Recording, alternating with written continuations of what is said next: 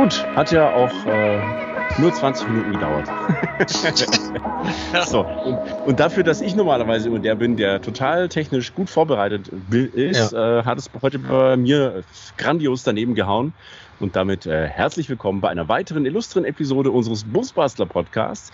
Äh, heute kriegen wir eine geklebt. Hallo ja. erstmal, äh, Christian natürlich. Guten Tag. Ich freue mich darüber sehr, dass es bei dir mal nicht hingehauen hat. Sonst bin ich nämlich immer der Penner, der zu spät kommt oder bei dem das Mikro nicht funktioniert. Hat man übrigens auch. Aber äh, ich freue mich darüber. Ähm, wie, ja, richtig. Äh, eine geklebt, hast du sehr, sehr schön gesagt. Ich glaube, das äh, hört Andreas, unser äh, grandioser Gast, sicherlich nicht zum ersten Mal. Äh, lieber Andreas, wir freuen uns sehr, dass du da bist. Äh, stell dich doch mal bitte kurz vor, wer, wie, was, warum und wenn ja, wie viele? Oh, das waren jetzt viele Fragen auf einmal. Also erstmal vielen Dank für die Einladung, hier äh, dabei sein zu dürfen, mittendrin statt nur dabei. Ja, mein Name ist Andreas Vesper. Ich bin bei der Sika Deutschland äh, zuständig im Marktfeldmanagement für den Bereich Caravan Aftermarket und Marine. Ähm, also auch Kleben, Dichten rund um die, ja genau, äh, äh Captain Iglo, genau. Äh, ja, und äh, das heißt, ich betreue da äh, unsere äh, Großhandelskunden wie auch, ähm, ich sag mal, unseren Vertrieb, wenn es um Produktmanagement-Fragen geht, Marketing, Kommunikation und so weiter und so fort. Ja. Soweit so gut. Und zu mir privat vielleicht noch zwei kurze Sätze. Also ich bin selber Camper, habe einen T5 ausgebaut mit einem Dachzelt drauf und freue mich, dass es jetzt wieder losgeht. Demnächst mit der Familie auf dem Campingplatz. Zwei kleine Kinder wollen bespaßt werden und ja, wie gesagt, seien wir froh, dass wir wieder raus dürfen. Sehr cool. Was hast du für ein, für ein Dachzelt? Ähm, das ist von iCamper. Ähm, Tolles Setup. Äh, Sky, Skycamp, Skycamp 2.0 oder wie heißt das ja, Ding? Ja. Äh, ähm, ja, dieser, wie heißt das, Rocky, Rocky Beach Special Edition. Rocky also Black, die, die, oder Rocky Black, also diese, ja, ja. diese grisselige Urea-Beschichtung, die da oben drauf ist, so anti-kratzfest und hau mich blau. ja.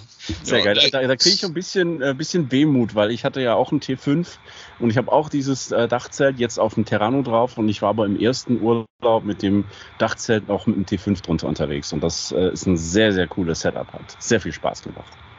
ja, wir haben jetzt oben die äh, ähm, Isomatten äh, oder die, die äh, Matratzen, die da drin waren, ausgetauscht gegen ein paar fette 10 cm selbstaufbauer Matratzen und äh, äh, mittlerweile schläft meine Frau mit den Kindern lieber oben als unten im Bus. Ich darf dann immer unten liegen, wo es hart ist. Ja. Also wir machen dann getrennte Betten. Ja. Vater schnarcht unten nach dem zweiten Bier und Frau und Kinder schlafen dann oben. Ja. So ist das bei uns. Christian, wir hören dich nicht. Weg. Da. Ah. ah. Hallo und herzlich willkommen beim Dachzelt Nomaden Podcast. Mein Name ist Tilo Vogel. ähm, sehr schön. So. wenn, wir, wenn wir schon mal äh, den, ähm, den großen Herrn von Sikaflex da haben, reden wir natürlich nicht über Dachzelte, sondern wir haben äh, eure Fragen da draußen äh, gesammelt, in ein achtseitiges Pamphlet gepackt und äh, das werden wir in den nächsten 16 Stunden jetzt alles, sehr gut, in den nächsten äh, paar Stunden jetzt äh, durchackern. Ähm, ich freue mich da sehr drauf, weil diese Fragen erreichen uns tatsächlich sehr, sehr häufig. Äh, ich selber kann auch immer nur darauf verweisen, hier steht in der Bedienungsanleitung, lese dir das genau durch und dann mach halt einfach und äh, gibt es aber trotzdem Fragen, die ich dann leider meistens immer nicht beantworten kann. Deswegen äh, sind wir sehr froh, dass du heute hier bist und hoffentlich ein bisschen äh, Licht ins Dunkle ähm, aus der Kleb und Dicht ähm, Hölle. Nein. Äh, ja, ich Kopf würde sagen. Kragen, Kopf und Kragen, mal wieder. ähm, ich mache mir jetzt aber als allererstes, ich meine, äh, die Leute, die jetzt zuschauen, die wir haben es 13.22 Uhr. Ich habe mir ein alkoholfreies äh, Jever Fun aus dem Kühlschrank geholt. Schleichwerbung. ja, natürlich. Das darfst du ja, wir, wir, machen ganz Offensivwerbung, ist gar kein Thema. Ganz, ganz schäbige Produktplatzierung.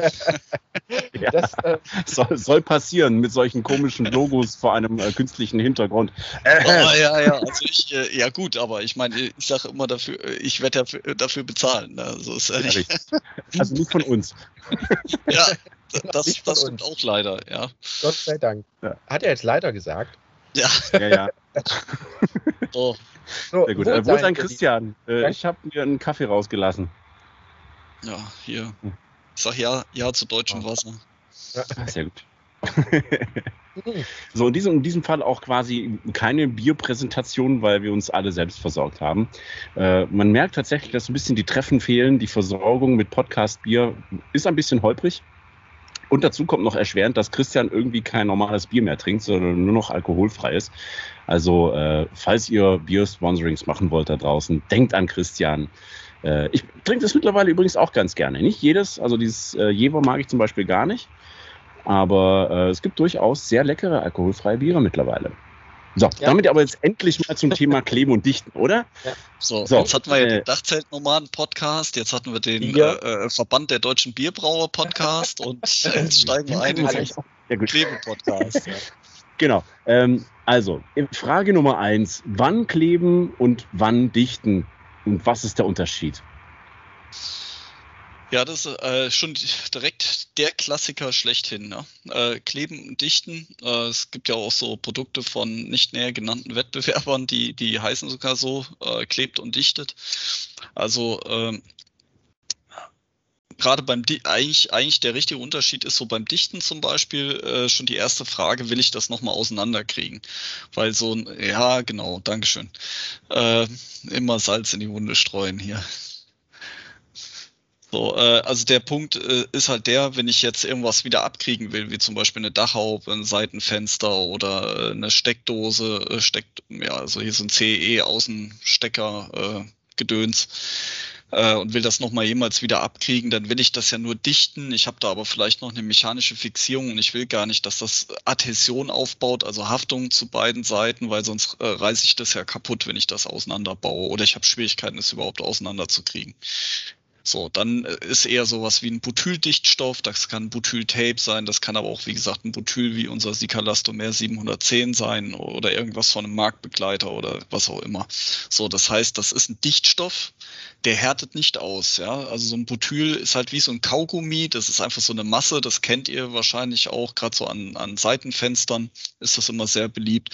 Und gerade wenn es heiß wird, führt das dann auch dazu, dass das vielleicht auch mal raustropft oder sich rausdrückt und so weiter und immer so ein bisschen beppig und klebrig ist. So, das ist so ein Dichtstoff auf Butylbasis.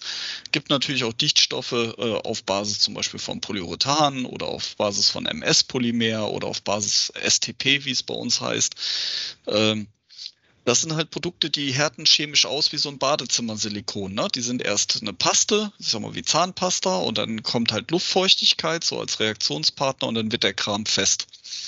So, und dann äh, ist natürlich wichtig, dass wenn das fest wird, will ich ja, dass es halt auch zum Untergrund haftet, weil sonst äh, kommt da ja das Wasser durch, weil in den Fällen habe ich dann vielleicht nicht noch eine zusätzliche Verschraubung, Verklemmung oder sonstige Geschichte. Das heißt, da muss ja der Dichtstoff dann den Job übernehmen, sozusagen die Teile äh, sozusagen untereinander dicht zu halten, damit das Wasser da nicht reinkommt. Und das ist schon mal der erste wesentliche Punkt. Also die Frage beim Dichten, will ich das nochmal jemals auseinanderkriegen? Ja, nein sein oder äh, soll das äh, dauerhaft dicht sein, ja? So, und mit dem Kleben und Dichten, der Unterschied ist einfach der auch, wie zu Hause auch, ähm, wie soll das Produkt ein Gewicht tragen? Also wenn ich was abdichte, dann dichte ich ja meinetwegen zum Beispiel gegen Wasser, gegen Staub, gegen äh, Fahrgeräusche, ne, wie eine Windschutzscheibe zum Beispiel. Ist ja so eine klassische Klebeanwendung, die sind alle verklebt, die Windschutzscheiben heutzutage. Ich will halt kein Wasser im Fahrzeugraum haben, ich will keine Windgeräusche da drin haben und ich will da auch keinen Dreck drin haben. So. Und äh, dann klebt das und dichtet auch aber hier ist der Fokus natürlich auf die Klebeanwendung, weil das ist ja ein sicherheitsrelevantes Bauteil. Ja, keiner will bremsen und auf einmal fliegt einem die Scheibe von der A-Säule runter. Genauso der Airbag hat ja auch eine Funktion, drückt sich teilweise auf der Beifahrerseite gegen die Windschutzscheibe, also muss das Ding auf jeden Fall drin bleiben. Und in dem Moment, wo ich was klebe, also gerade sowas wie Solaranlagen, Satellitenschüssel, äh, irgendwelche Schienen am Fahrzeug, äh, Dachgepäckträger, also überall, wo ich eine hohe Last habe, ja, auch in einem Crash oder auch durch die Fahrbewegung, dann ist das, ist der Fokus auf Kleben. Und ein Klebstoff, das ist jetzt der letzte Satz zu dem Thema, wenn ich die Datenblätter nebeneinander lege zwischen einem Dichtstoff und einem Klebstoff, dann werde ich bei einem Dichtstoff nie einen Wert finden, der wird dort immer fehlen und das ist der sogenannte Zugscherfestigkeitswert. Das ist also der Wert, den zwei verklebte Körper sozusagen in der Scherbelastung haben. Das ist ein Wert, den ein Konstrukteur braucht, um eine Last zu berechnen. Ja, brauche ich auch eine entsprechende Klebefläche. Wenn ich weiß, der Dachgepäckträger wiegt X, ne, Crash wirken die und die Kräfte ein, dann muss er ja eine gewisse Klebefläche haben, damit das eben auch hält. Und dieser Wert fehlt prinzipiell bei Dichtstoffen immer. Ja, also wenn ihr ein Datenblatt habt, wie zum Beispiel Sikaflex 221 und legt Sikaflex 252, das ist ja dann der Klebstoff daneben. Bei 252 ist ein Zugscherfestigkeitswert im Datenblatt, bei 221 ist das nicht drin. Ja, und das ist einfach dadurch auch gedacht, weil 221 eigentlich im Prinzip gar nicht gedacht ist, dafür irgendwas zu befestigen, sondern nur zum Abdichten. Es gibt mhm. natürlich Leute, die da trotzdem was mit äh, kleben, ja, aber äh, dafür ist es eigentlich nicht gemacht worden. Also ich sagte eingangs, da hatten wir noch nicht auf eine Aufnahme gedrückt, ja, mit der Scheibe Wurst kann man auch viel Unfug machen. Da sagt der Metzger auch dann, dafür ist es nicht gemacht worden. Und wir sehen das natürlich auch, dass die Leute immer wieder fragen, ja, wie klebe ich mit 221 was an? Das ist die Frage schon falsch, ja, weil das Produkt einfach dafür nicht da ist. Okay, also bevor wir aber gleich in die äh, einzelnen Produkte kommen, um das auch ein bisschen aufzuräumen, wenn wir jetzt hergehen würden und sagen, okay, ihr habt einen Kleber, wie viel Gewicht klebt denn so ein Kleber? Fällt mir jetzt gerade so spontan noch ein. Ja, der wesentliche Wert bei dieser Zugscherfestigkeit ist in Newton pro Quadratmillimeter. Und man kann ungefähr sagen, so 10, 10 Newton, sagt man so ungefähr, ist ein Kilo. Und wenn ich jetzt so einen Wert habe, jetzt nehmen wir mal so einen Standard elastischen Montageklebstoff, ist jetzt auch völlig egal welches Produkt. Sagen wir mal, hätte ich da eine Zugscherfestigkeit von 2,5 Newton pro Quadratmillimeter. Das heißt, ich habe dann eine Klebkraft von 250 Gramm pro Millimeter, also ein Päckchen Butter auf Deutsch gesagt, was ich an einen Millimeter hängen könnte. Wenn man sich das jetzt vorstellt, dass ich da halt eine entsprechende Kleberaupe habe, ne, einen Meter lang und einen Zentimeter breit, dann sind das natürlich viele, viele tausende Quadratmillimeter und das ist dann dann halt auch der Grund, warum so eine elastische Verklebung halt äh, sehr gut hält, weil ich einfach eine große Klebefläche habe. Ja, also jetzt auf einen Millimeter, das kennt ihr auch, wenn ihr mal irgendein Plastikspielzeug habt, was zerbrochen ist und ihr versucht das Stoß an Stoß wieder zu kleben, geht das ja meistens schief. Warum? Weil die Klebefläche einfach zu klein ist, ja, weil das so, das kann gar nicht funktionieren, selbst mit dem besten Sekundenkleber nicht. Ne?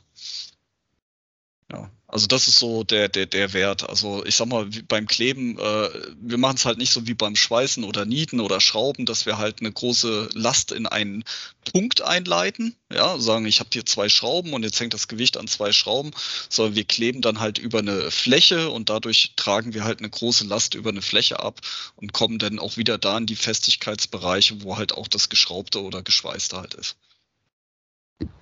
Und äh, damit gehen wir auch schon direkt in die Produkte ein, weil ich jetzt die ganze Zeit so drauf warte. Los, komm, jetzt sag diese drei magischen Zahlen. Ne? Drei? Das ja, sind drei Zahlen. Ähm, was bedeutet, also welche Bezeichnung gibt es bei Sika, die wir vor allen Dingen im Vanlife-Bereich wahrscheinlich am äh, häufigsten verwenden sollten und verwenden dürfen? Ja, genau, der Punkt ist eigentlich gut mit dem Verwenden dürfen. Weil es gibt nämlich da einen sehr großen Unterschied vom Gesetzgeber. Also das hat sich auch nicht Sika überlegt und das betrifft auch alle anderen Anbieter. Also es gibt natürlich im gewerblichen Bereich, also im Bereich Fahrzeugbau, ja, gibt es natürlich viel mehr Produkte, äh, die verwendet werden dürfen als beim Privatanwender, weil man einfach als Gesetzgeber sagt, okay, der Privatanwender, der hat da keine Ahnung davon, was zum Beispiel Isocyanat ist oder was halt äh, bestimmte Lösemittel sind und so weiter. Und deswegen hat er halt äh, bestimmte Grenzwerte halt für Privatkunden sozusagen eingezogen, während im gewerblichen Bereich, äh, jetzt denkt man ja, wie gewerblich, also acht Stunden Lösemittel einatmen kann doch nicht gesund sein. Ja, da gibt's aber dann wiederum äh, Arbeitsplatz, äh, Grenzwerte zum Beispiel, Beispiel und Vorschriften, wie viel Lösemittel darf an einem Arbeitsplatz sein. Das wird auch gemessen von Berufsgenossenschaften, Betriebsärzte schauen da drauf und so weiter. Das heißt, ein Gewerbetreibender wird auch viel besser geschult, wird besser kontrolliert und so weiter und so fort. Ja, und da sagt man halt, jemand, der halt regelmäßig damit Umgang hat, darf damit mehr. So, also jetzt im privaten Bereich ist das dann halt so, äh, gibt es ja speziell diese iCure-Produkte, ja, also hinten 221i, 252i, also daran erkennt der Privatanwender, das sind Produkte für mich. Das gibt es auch im Schiffbereich, im Marinebereich gibt es 291i, 292i, also immer wo hinten das i dran ist. Das ist einfach eine Technologie, wo dieser Isocyanat-Anteil so weit reduziert ist, dass es halt für Privatkunden wieder okay ist. Also da ist im Prinzip weniger als 0,1 Prozent drin, also so gut wie nichts. Ähm, und dann gibt's auch noch die 500er Produkte, das kennt ihr vielleicht so von unseren Marktbegleitern, von den MS-Polymeren. Ähm, die fangen dann halt bei uns mit 5 vorne an und die sind komplett kennzeichnungsfrei, da ist dann auch kein Isocyanat drin und so weiter und so fort und die darf man dann auch einsetzen. Und es gibt natürlich auch gewerbliche Kunden, die diese Produkte einsetzen, weil das hat ja nicht weniger was mit Arbeitsplatzsicherheit zu tun, sondern um die speziellen Eigenschaften dieser Produkte, aber da kommen wir wahrscheinlich dann noch drauf. Ähm, da kann ich auch schon einen kleinen Ausblick hier so ein bisschen exklusiv geben. Trommelwirbel, Trommelwirbel, äh, weil wir sind ja jetzt äh, äh hier mitten in der äh, Sortimentsplanung fürs nächste Jahr. Und ähm, diese äh, Geschichte mit, ja, wann nehme ich 200er Sikaflex-Produkte, wann nehme ich 500er Sikaflex-Produkte, hat mich auch dazu veranlasst zu sagen, wir räumen da ein bisschen auf und ab nächstem Jahr gibt's nur noch diese 500er Produkte. Ja, also das wird dann halt einfacher sein für den Privatanwender, weil es gibt dann halt nur noch einen Dichtstoff und einen Klebstoff und dann gibt es natürlich noch ein Butyl und ein Silikon und so weiter. Aber ich sag mal, es wird nicht mehr die Frage geben, wann nehme ich 521 UV, wann nehme ich 221i und so weiter, weil es ist natürlich für einen Privatanwender ein bisschen verwirrend. Und das straffen wir jetzt ein In der bisschen. Tat. Und, äh, ja, nee, das hat, hat auch historische Gründe äh, gehabt. Ähm, das würde jetzt hier zu weit führen, aber das hat so auch mit der Unternehmensgeschichte von Sika ein bisschen zu tun und äh, wie halt bestimmte Sortimente mal entstanden und gedacht worden sind. Und äh, ich sag mal, so ein Produktsortiment ist halt auch so ein lebender Körper, auf Deutsch gesagt, genauso wie ein Fahrzeughersteller auch sagt, okay, jetzt brauche ich da mal eine Sitzheizung oder eine Klimaanlage oder, ne, also es entwickelt sich alles weiter und äh, wir haben halt gedacht, okay, wir nutzen halt jetzt ähm, die, die, ich glaube, über zehn Jahre ist das jetzige Sortiment im Markt. Und ich denke, so nach gut zehn Jahren kann man da mal was Neues machen. Wenn, lass uns uns doch gleich mal runterbrechen. Und wenn du sagst, es gibt dann nur noch einen Klebstoff und nur noch einen Dichtstoff, das ist, heißt ja im Prinzip, ich kann mich ja jetzt schon auf diese zwei Produkte mehr oder weniger fokussieren. Äh, welche beiden sind das dann? Ja gut, die neuen Produkte gibt's ja noch nicht im Markt, die werden jetzt erst eingeführt. Also wenn ich jetzt Namen sage, äh, könnte ich auch machen, aber äh, kann keiner noch nirgendwo kaufen, weil die sind in keinem Katalog, die gibt's nicht bei Amazon, also nirgendwo. Also die, äh, ich habe sie auch hier schon stehen, ich könnte sie zeigen, aber äh, ich will dem jetzt nicht vorgreifen, weil sonst ist der Handel wieder traurig, dass ich Sachen im Internet erzähle, von denen sie noch nichts wissen, ja, weil die Leute rufen dann da an und sagen, äh, ich habe gehört, äh, so. Also äh, im Prinzip kann man sagen, es ist die Weiterentwicklung von dem 521 UV. Äh, das ist ja jetzt der Dichtstoff, witterungsbeständig. Das heißt also, wenn ich da irgendwas weiß abfuge außen am Auto, dann bleibt das auch über viele Jahre weiß, ja, und vergilbt nicht. Und dann gibt's ja einen Klebstoff dazu auch, das ist der Sikaflex 552. Und die beiden Produkte haben wir sozusagen jetzt general überholt und die wird's dann halt mit einer anderen Nummer sozusagen, mit besseren Eigenschaften äh, dann für nächstes Jahr geben. Ja, das ist also sozusagen gepimpter 521 UV und gepimpter 552 und äh, ich kann mal zum Beispiel sagen, was ist da gepimpt zum Beispiel? Also der, der neue 521 UV, der eine andere Nummer hat, der ist zum Beispiel dann auf Fungizid eingestellt. Das heißt, wenn ich den in der Außenfuge habe, äh, kann da nichts mehr drauf rumgammeln. Also wenn da einer sein Auto irgendwie äh, im Herbst unter so eine Vollgarage packt, ja, und ist noch feucht und schmutzig und dann hat er zwar den Schimmel überall im Auto und auf dem Auto, aber nicht auf der Fuge. Wie sieht das äh, jetzt aktuell aus? Welche Produkte sind das jetzt, just in diesem Moment, die man äh, genau für sowas empfiehlt? Also was ist für uns das beste äh, Dichtmittel und welches für uns das beste Klebemittel? Ja, ich würde so jetzt von meiner eigenen Anwendungserfahrung auch sagen, also 521 UV ist eigentlich so der Premium-Dichtstoff, äh, wo ich im Prinzip auch außen wie innen alles mitmachen kann. Ähm, weil der halt eben halt, ähm, ich sag mal, das ist ja auch das Thema, wo wir nachher noch drauf kommen, dieses Thema Primerlos und so weiter und so fort. Also weil der Privatanwender, ich, ich habe da immer so dieses Thema, ja, okay, wenn ich jetzt sage, nimmst einen Primer, dann ist vielleicht die Performance von dem Produkt am Ende ein Tick besser, aber wenn die Leute den Primer nicht richtig verarbeiten, dann haben sie auch nichts gewonnen, ja. So mal abgesehen davon, dass es Geld kostet und so weiter und so fort. So, also 521 UV wäre so das Produkt, wo ich sage, okay, wenn man sich davon eine Kartusche irgendwo in den Keller packt oder in die Werkzeugkiste, damit kann man so ziemlich alles äh, am Fahrzeug dann dichten. Und äh, zum Kleben, wenn es jetzt um Solaranlagen äh, gehen würde, ich meine momentan auch in Klebesets, äh, ja, ich würde sagen 552, 552 AT. Also es gibt den 552 auch noch in zwei verschiedenen Varianten. Auch das macht es kompliziert, aber das räumen wir halt alles auf. Und aber jetzt, wenn jetzt einer sagt, okay, einmal dichten, einmal kleben bitte, 521, 552. Fertig.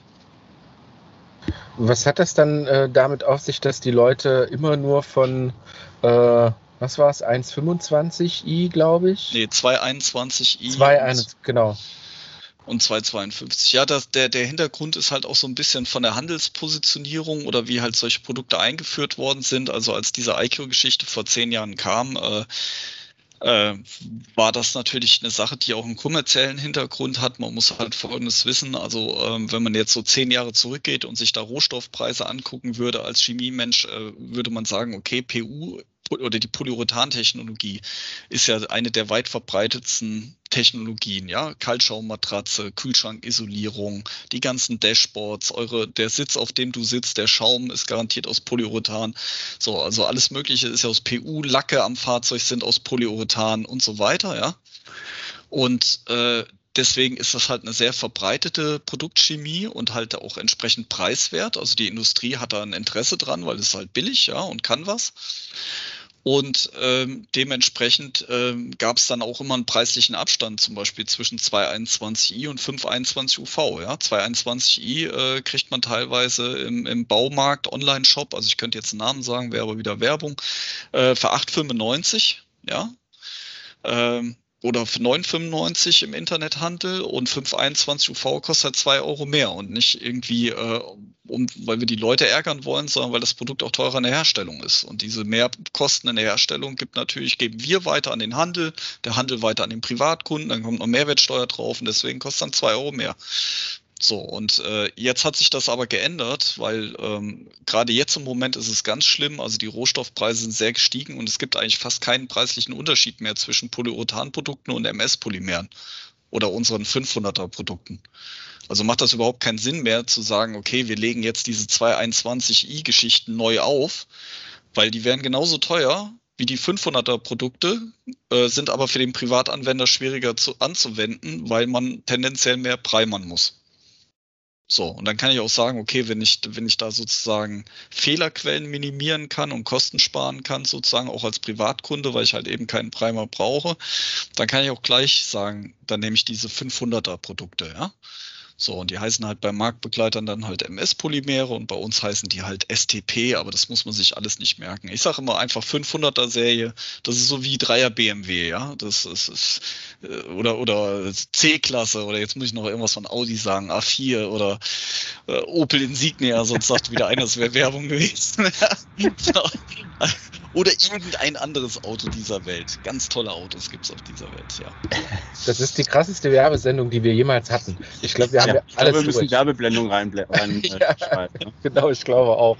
äh, ja, sehr, sehr, sehr spannend. Ich finde auch, äh, du hast es gerade richtig gut angesprochen, auch ein Thema, was äh, viele Leute beschäftigt, was mich auch sehr lange beschäftigt hat. Ich komme so ein bisschen aus dem Kfz-Bereich und äh, das ist diese Primer-Geschichte, diese äh, Vorbehandlung ähm, der jeweiligen Materialien, bevor ich irgendein Dach einbaue, Seitenfenster oder, oder, oder, äh, war es auch immer so, dass wo ich mit Vanlife angefangen habe, habe ich gesagt, ja, anrauen reicht, fertig, haut drauf den Kram, äh, hatte aber nicht dabei bedacht, dass, dass ich, ich komme halt aus der Oldtimer-Restauration oder halt auch aus dem Kfz-Bereich. Wir haben, äh, egal was wir am Fahrzeug geklebt haben, wenn es, wenn es so weit ging, so ob das Sicherheitseinrichtungen waren oder sonstiges, wurde da immer geprimert.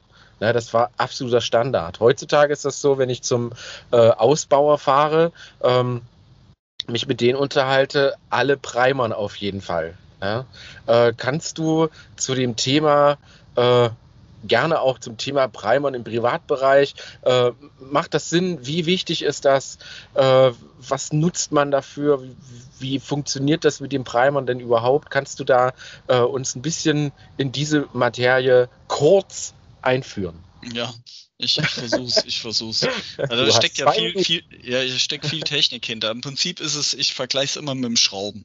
Äh, wenn ich irgendwas in, in, die Wand dübel, muss ich mich auch damit beschäftigen. Also wenn ich jetzt äh, äh, Dübelhersteller bin, ja, dann, dann und einer fragt, ja, wie soll ich denn jetzt hier da was an der Wand befestigen, dann werde ich ja auch immer sagen, was ist das denn für eine Wand? Ne? Ist das eine Gipsfaserplatte, eine Gipskartonplatte, ist das eine Ziegelwand, äh, ist das ein Ytongstein, was ist denn das, ja?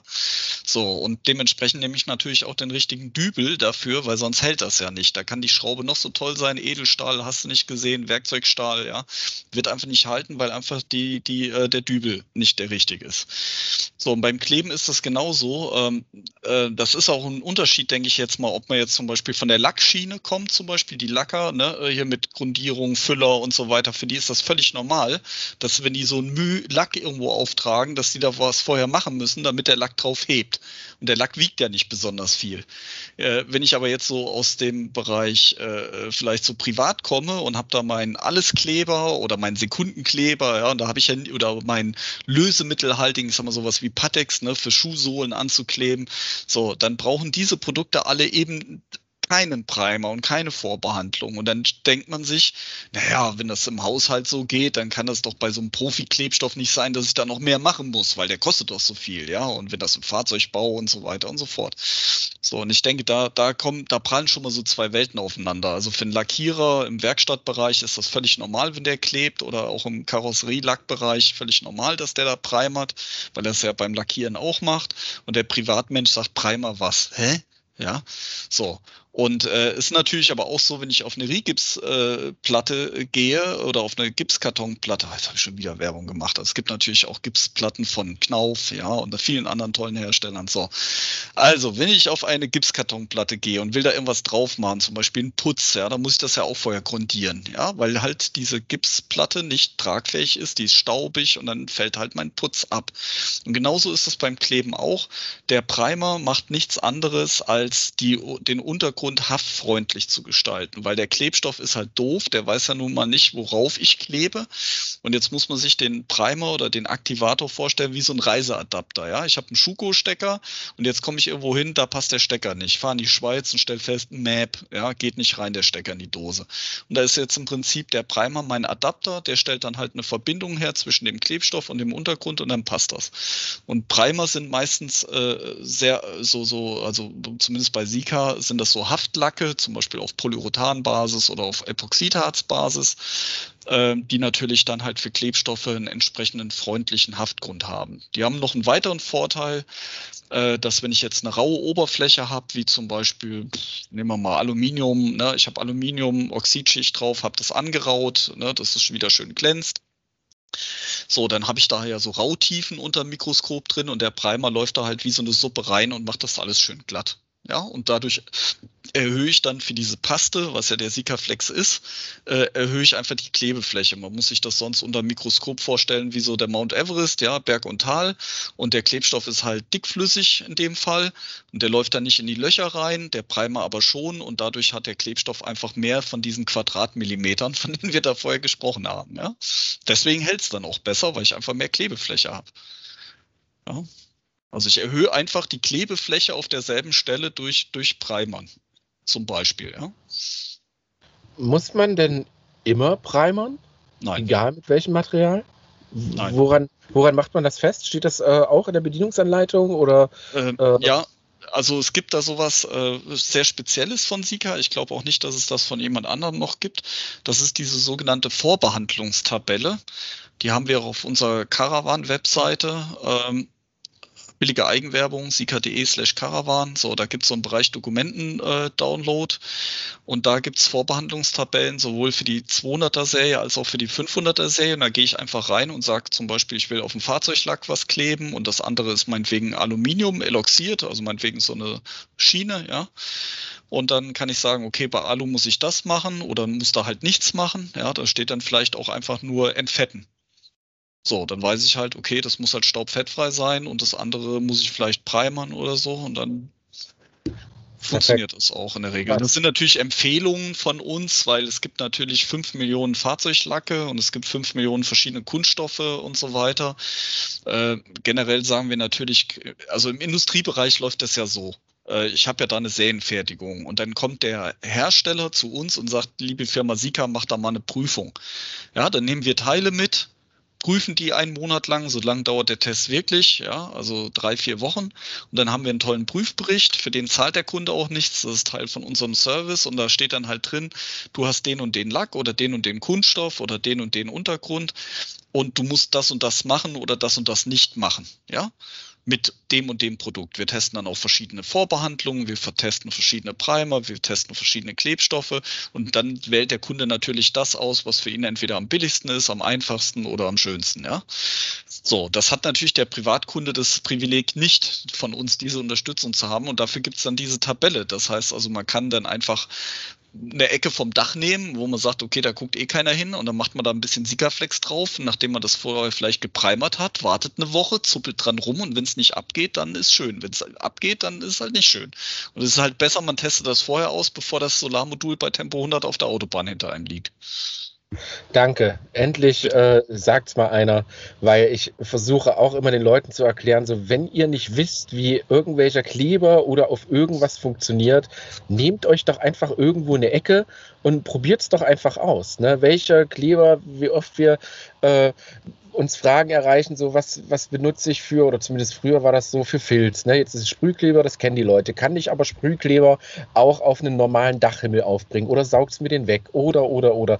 Und ich sage immer, probiert es einfach. Ne? Es ist die beste Möglichkeit, die ihr machen könnt, äh, es wirklich vorher zu probieren. Auch was äh, ich aus dem Kfz-Bereich so kenne, ist vor allen Dingen ähm, Primer, Kleber an sich. Manche vertragen sich mit äh, nachlackierten Fahrzeugen nicht, wenn Klarlackschicht zu dünn ist oder, oder, oder, dann einfach an der Ecke probieren und dann, wie du schon sagst, vielleicht ein paar Stunden warten, paar, ein, zwei Tage warten, äh, dran rumzubbeln, dran rumkratzen, gucken, was passiert.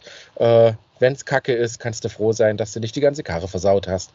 Ja, nee, ich verstehe auch den Stress von den Leuten da immer nicht, äh, dass diese, die stehen da mit ihren ganzen Materialien, äh, wollen eine Bodenplatte einkleben und machen sich einen riesen Kopf über die Dichte vom Holz und was weiß ich was äh, und die Isolierung drunter und so weiter und dann heißt es ja, das muss doch irgendwie zum Kleben jetzt gehen. Dann denke ich dann auch immer, ja, du hast doch den Ducato da jetzt schon ein halbes Jahr da rumstehen, äh, schmier doch einfach mal was in der Ecke. Das sieht hinterher kein Mensch mehr, weil kommt ja eh die Platte drauf. Ne? Also ich denke auch, probieren geht über studieren und ähm, nochmal kurz zu dem James Dean-Motto, denn sie wissen nicht, was sie tun. Also ich habe auch ähm, Fälle, wo ich den Leuten gerade bei solchen sicherheitsrelevanten Außenanwendungen wie Solarmodul und so, wo ich dann wenn ich dann merke, dass da, weil links rein, rechts raus oder merkst einfach talentfrei auf Deutsch gesagt. Ja, es gibt äh, manchen, man kann nicht jedem alles beibringen, muss man einfach auch akzeptieren.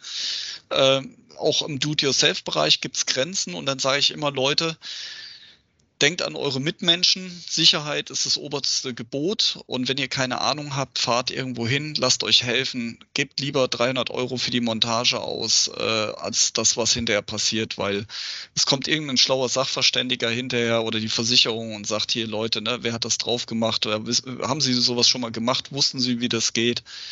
Und so weiter. Ne? Und dann hast, hast du echt ein Problem. Gerade wenn äh, Sachschäden oder Personenschäden dann entstehen. Ne? Ich meine, im Auto kann ja nichts passieren, wenn da der Klorollenhalter runterfällt oder so, dann ist wenig passiert, aber ich sage ja gerade bei so Sachen wie, wie Außenanwendungen, ähm, da sind doch einiges an, an ja, Sachen, die da halt passieren können. Ne? Aber wir wollen ja allen helfen, dass es dann doch irgendwie geht.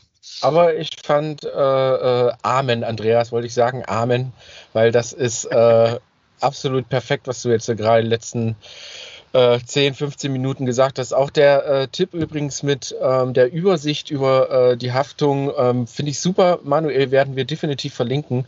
Und äh, das fühlt sich jetzt schon so an, als wird diese Podcast-Folge ein, äh, wie sagt man, ein Kompendium des Wissens über Kleben und Dichten, wo alle, bevor sie bei Sikaflex anrufen oder in irgendwelchen Foren fragen, äh, womit klebe ich denn ein Solarpanel fest, hört euch die Folge an und äh, da wisst ihr schon mal Bescheid. Und dass man ein und, und empfehlt es bitte auch weiter. Wir hatten ja letzten ersten zweistündiges Interview mit den Leuten von der GTÜ. Äh, heute habe ich wieder Fragen zum Thema äh, Kocher bekommen. Äh, das ist schön, da kann man einfach darauf verweisen. Und so werden wir es mit dem Kleben jetzt auch machen, äh, dass wir hier versuchen, jetzt einfach alle Fragen unter einen Hut zu kriegen. Äh, nächstes Thema, Materialstärke. Ich habe ja äh, ganz häufig, also ich komme ursprünglich ja aus dem Schwabeländle, gell? und äh, da spart man natürlich auch ganz gerne. Äh, dann guckt man natürlich, dass man so viel wie möglich aus so einer Kartusche rauskriegt, äh, was nicht wirklich zielführend ist. Äh, klär uns doch mal bitte auf, lieber Andreas, äh, über das Thema Materialstärke und warum das wichtig ist. Ähm, ja, Materialstärke hat ja so zwei Dimensionen. Einmal, äh, also im dreidimensionalen Raum, so meine ich das, ne? Länge, Breite, Höhe so ungefähr. Und ähm, äh, die Klebefläche wie gesagt, das ist ja dann Länge mal Breite. Das ist halt das Thema mit der Festigkeit. Also wenn ich dann halt sage, ne, was wiegt das, äh, dann geht's halt um die Fläche, Länge mal Breite. Äh, wenn es aber um dieses Thema äh, elastische Eigenschaften und ne, heißt ja Sika Flex äh, geht, dann ist halt natürlich die Frage der Klebschicht Höhe oder Dicke oder Stärke, wie immer man das nennt, entscheidend. Und da sagen wir eigentlich im elastischen Bereich macht eine Mindestklebschicht Dicke von unter zwei, drei Millimeter überhaupt keinen Sinn. Ist völlig sinnlos. Das ist wie so ein extrem tiefer gelegtes Auto, weil ne, das ist auch wieder Physik, Federweg. Also da, wo nichts ist, kann auch nichts elastisch sein. Also wenn man auf 0,2 Millimeter Klebschichthöhe was elastisch klebt, dann ist es nicht mehr elastisch weil einfach kein Federweg da ist. Muss sich das ja so vorstellen, mal ein Beispiel, Aluminium mit Stahl verklebt, Alu hat die doppelte Längenausdehnung von Stahl. So, und jetzt wandert das Alu oben die Schiene zum Beispiel am Fahrzeug, wandert halt durch Sonneneinstrahlung äh, weg, ja, links und rechts geht die auseinander. Das Stahl natürlich auch, aber nur halb so stark wie die Aluschiene. Und wenn da halt nichts drunter ist, sozusagen, dann zieht ja jetzt die Aluschiene an der Sika-Flex-Verbindung. Äh, ja, und dann geht das halt irgendwann auch kaputt. Also dann kann so ein Produkt auch kohäsiv, also mittig in sich selber reißen, weil man einfach zu wenig Höhe gehabt hat vom Material. So, und deswegen, ähm, es gibt da auch Berechnungsformeln, alles natürlich sehr kompliziert. Also ein Konstrukteur weiß, wie das geht. Die rechnen das tatsächlich aus anhand der Bauteillänge und der zu erwartenden Temperaturen, weil das ist ja auch ein Unterschied. Ist das ein Möbelstück in der Wohnung oder ist das ein Fahrzeug draußen? Ne? Weil minus 40 bis plus 90 ist so im Automotive-Bereich der Temperaturbereich. Äh, für ein Möbelstück sieht das natürlich ein bisschen anders aus. So, also zwei, drei Millimeter sollte man sich mal merken. Und wie kriege ich das überhaupt hin? Weil ich sehe auch immer so lustige Sachen mit äh, Beschweren von Klebeverbindungen. Ist natürlich völliger Schwachsinn, äh, weil der Klebstoff wird ja nicht auf Druck äh, besser. Also ist ja kein Klebeband oder so, sondern wir haben ja hier eine, eine, eine Paste, ich sag mal wie Zahnpasta, die dann halt aushärtet. Äh, und diese Mindestklebschichthöhe, die kriege ich halt hin durch Abstandshalter in der entsprechenden Höhe. Also ich besorge mir halt solche Möbelunterleger, ne, solche, solche halbrunden äh, Gummipuffer, sage ich jetzt mal. Die sind dann halt meinetwegen zwei Millimeter hoch und dann kann ich das Teil halt nicht weiter runterdrücken als diese zwei Millimeter von diesem Gummipuffer und fertig. Also das ist das Thema Materialstärke und auch noch ein Thema, was äh, auch dazu gehört zum Thema Materialmenge. Habe ich ganz oft auf Facebook gesehen, Leute, die Seitenfenster mit Butyl eindichten und dann natürlich auch nicht berücksichtigen, dass der Rahmen, Fensterrahmen und das Fahrzeug vielleicht irgendwie gebogen und so und dass da vielleicht dann Toleranzen dazwischen sind. Dann kaufen die sich eine Kartusche Butyl von Sika, von wem auch immer und hinterher sagen sie ja, das Fenster war undicht. Ja, ja, weil da wahrscheinlich irgendwo an irgendeiner Ecke ganz am Ende, wo sie dann angekommen sind, am besten noch oben vom Fenster, ja, wo das Wasser reinläuft, äh, da ist dann die Kleberaupe auf einmal nur noch 0, irgendwas Millimeter und äh, äh, der Spalt zwischen Rahmen und Fahrzeugaußenseite ist aber ein Millimeter. Ja, so, dann habe ich da halt 0,5 Millimeter Luft, wo das Wasser durchläuft. Also in dem Fall hilft viel, wirklich viel. Da gebe ich immer den Tipp, so viel Butyl reinhauen, äh, dass es nach dem Einsetzen vom Fenster sich wirklich rausdrückt und man es wegschaben muss, weil dann weiß ich halt auch, dass überall was ist. Weil wenn ich nichts sehe, dann ist das schwierig, ne? Das sind, das sind quasi gleich zwei Anschlussfragen in einer äh, schon wieder versteckt. Ich glaube, wir gehen aber erstmal noch ein bisschen auf die technische. Ähm, Hitzebeständigkeit. Hast du gerade gesagt, Automotive-Bereich minus 40 bis plus 90. Äh, ja. Gibt es da auch Dinge, die ich zu beachten habe, wenn ich jetzt ein, bei der Auswahl des Klebers zum Beispiel? Nein. Nein. Also Gut. die, die Einsatztemperatur, ja, nee, gibt's nicht. Also steht im Produktdatenblatt auch drin. Also einfach runterladen auf sika.de oder bei uns auf der Caravan-Webseite sind auch die Datenblätter. Und da gibt's immer ein Feld, das nennt sich Einsatztemperaturbereich und da steht dann halt drin von minus 40 bis plus 90, teilweise auch kurzfristig sogar über 100 Grad. Ja, also das ist überhaupt kein Problem. Sehr schön. Und dann die zweite Frage, die sich aus deiner äh, Antwort gerade schon ergeben hatte, war, okay, ich benutze das, so viel Material, dass es rausdrückt. Wie kriege ich denn das überschüssige Material dann wieder weg? Ja, wenn es weich ist, also nehmen wir mal eine Solarmodulhalterung, wenn es weich ist, äh, äh, also na, direkt nach dem Fügen ist es ja weich, äh, dann kann ich halt sowas nehmen wie einen Fugenfix zum Beispiel, in einem 45 Grad Winkel, ja, ziehe ich das außen ab und dann kann das Wasser, was an der Halterung runterläuft, über diese Schräge schön aufs Dach ablaufen. Ja, und wenn ich dann noch Überschuss habe, zum Beispiel irgendwo, weil ich was nicht abgeklebt habe oder so, da gibt's von uns diesen Sika Remover 208. Äh, damit kann ich dann mit einem Zewa, also mit einer Papierrolle, äh, oder mit äh, äh, einem alten Bundeswehrunterhemd oder alten Socken oder was auch immer, äh, kann ich dann halt äh, äh nicht ausgehärtetes Sikaflex sozusagen wegmachen. Wenn ich das vergesse und das Sikaflex härtet aus, dann kann ich es halt vielleicht noch, wenn es nicht zu lange ausgehärtet ist, mit dem Fingernagel oder mit so einem Plastikrakel äh, weg ja, wegschrubbeln, auf Deutsch gesagt. Ja, aber wenn es dann mal fünf Jahre hängt und dann auch noch blöderweise Adhäsion aufgebaut hat, dann wird's schwierig, ja. Ja, also durchtrennen, also die Frage kommt auch häufig, ja, wie kriege ich denn jetzt sowas wieder auseinander? Da, da, da gibt es zum Beispiel im Autoglasbereich spezielle Schneiddrähte, zum Beispiel für Windschutzscheiben, ne, um den Klebstoff durchzuschneiden. Da muss man aber Acht geben auf lackierten Flächen, dass man da nichts zerkratzt. Ansonsten gibt es natürlich auch diese, diese ganzen, ich sag mal, Multitool, Schwingmesser, irgendwas mit Akku und so ein Messerchen vorne dran, ne, wo man dann, und da hilft dann vor allen Dingen auch wieder diese Klebschicht Höhe. Weil das Messer hat ja auch eine gewisse Dicke Ne? Und wenn ich das, wenn das Messer ein Millimeter hoch ist und ich habe da nur 0,8 Millimeter Klebespalt, dann komme ich da mit dem Messer auch nicht rein. Aber wenn das halt zwei Millimeter hat, dann komme ich da sauber rein und mit diesen Schwingmessern kann man wunderbar elastische Klebeverbindungen durchtrennen.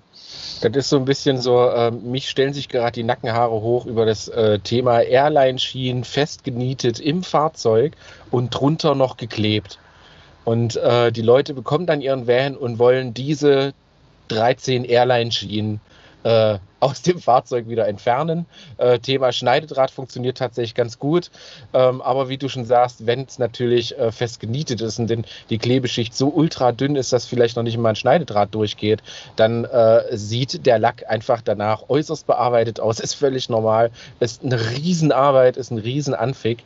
Aber ähm, ist tatsächlich leider einfach so. Und äh, ja. ihr hört gerade genau aus dem Grund, äh, also eigentlich ein eine falsche Montage, möchte ich das mal nennen. Ja, nee, also ich sag mal, ein Konstrukteur, ein guter Konstrukteur macht sich natürlich auch über diese Aftermarket-Geschichten äh, Gedanken.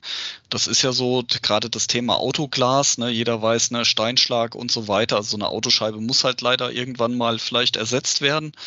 Und äh, dann wäre es natürlich ungeschickt, wenn da keiner mehr mit dem Draht dazwischen käme. Ja. Ähm, eine Sache noch, die mir gerade noch einfiel. Äh, du hast gesagt, in diesem Fall hilft viel tatsächlich viel. Das bedeutet aber, es gibt auch noch andere Fälle, wo viel nicht viel hilft.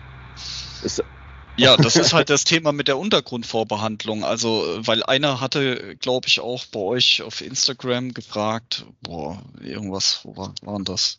Das war auch so von wegen, äh, mit dem viel hilft viel. Also, ob das, ob das richtig wäre, dass grundsätzlich immer viel, viel hilft. Also, viel hilft nur dann viel, wenn ich natürlich auch die richtige Untergrundvorbehandlung gemacht habe. Äh, also, ich kann jetzt nicht die Schwächen der, äh, der Untergrundvorbehandlung durch mehr Sikaflex oder mehr Material beheben. So nach dem Motto, wenn ich da viel Klebstoff drauf schmiere, weil wenn viel nicht hält, das ist wieder wie 20 Schrauben mit einem falschen Dübel in die Wand gemacht, ja, halten auch alle 20 Schrauben nicht, ja. Das ist genau das gleiche mhm. Thema. Also, und, und wie ist es, also nehmen wir jetzt mal, ja. Nehmen wir jetzt einfach mal ein Beispiel. Ich möchte ein flexibles Solarmodul auf mein Dach kleben.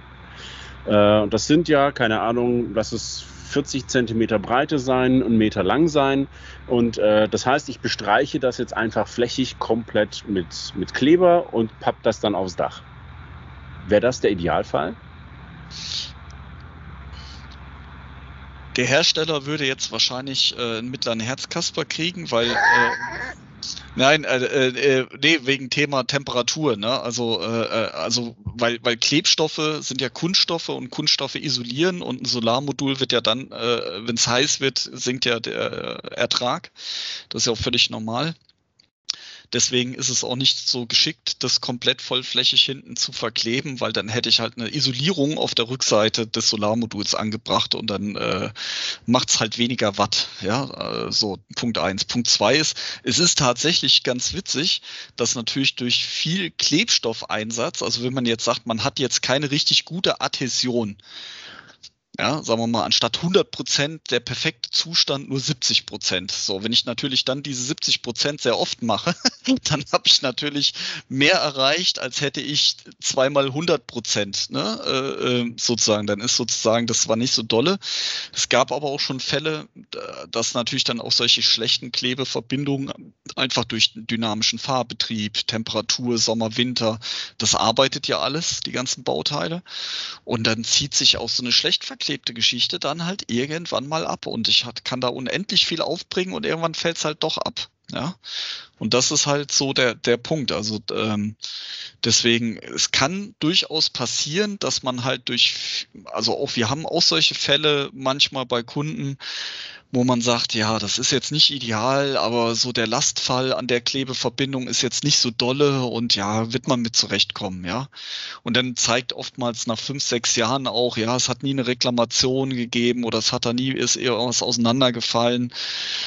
Äh, es gibt, es gibt solche, ich sag mal, Erduldungen von suboptimalen Klebeverbindungen gibt es auch in der Industrie und äh, auch, auch das muss man auch vielleicht hier und da mal privat hinnehmen, dass man sagt, okay, wenn man dann die Klebefläche hat, wie bei so einem flexiblen Solarmodul, kann man das vielleicht ein Stück weit heilen, aber es sollte nie das Ziel sein, durch äh, sinnlosen Materialeinsatz äh, ne, A, Geld, B, Nachhaltigkeit und so weiter, ne, und C, äh, weiß ich dann immer noch nicht.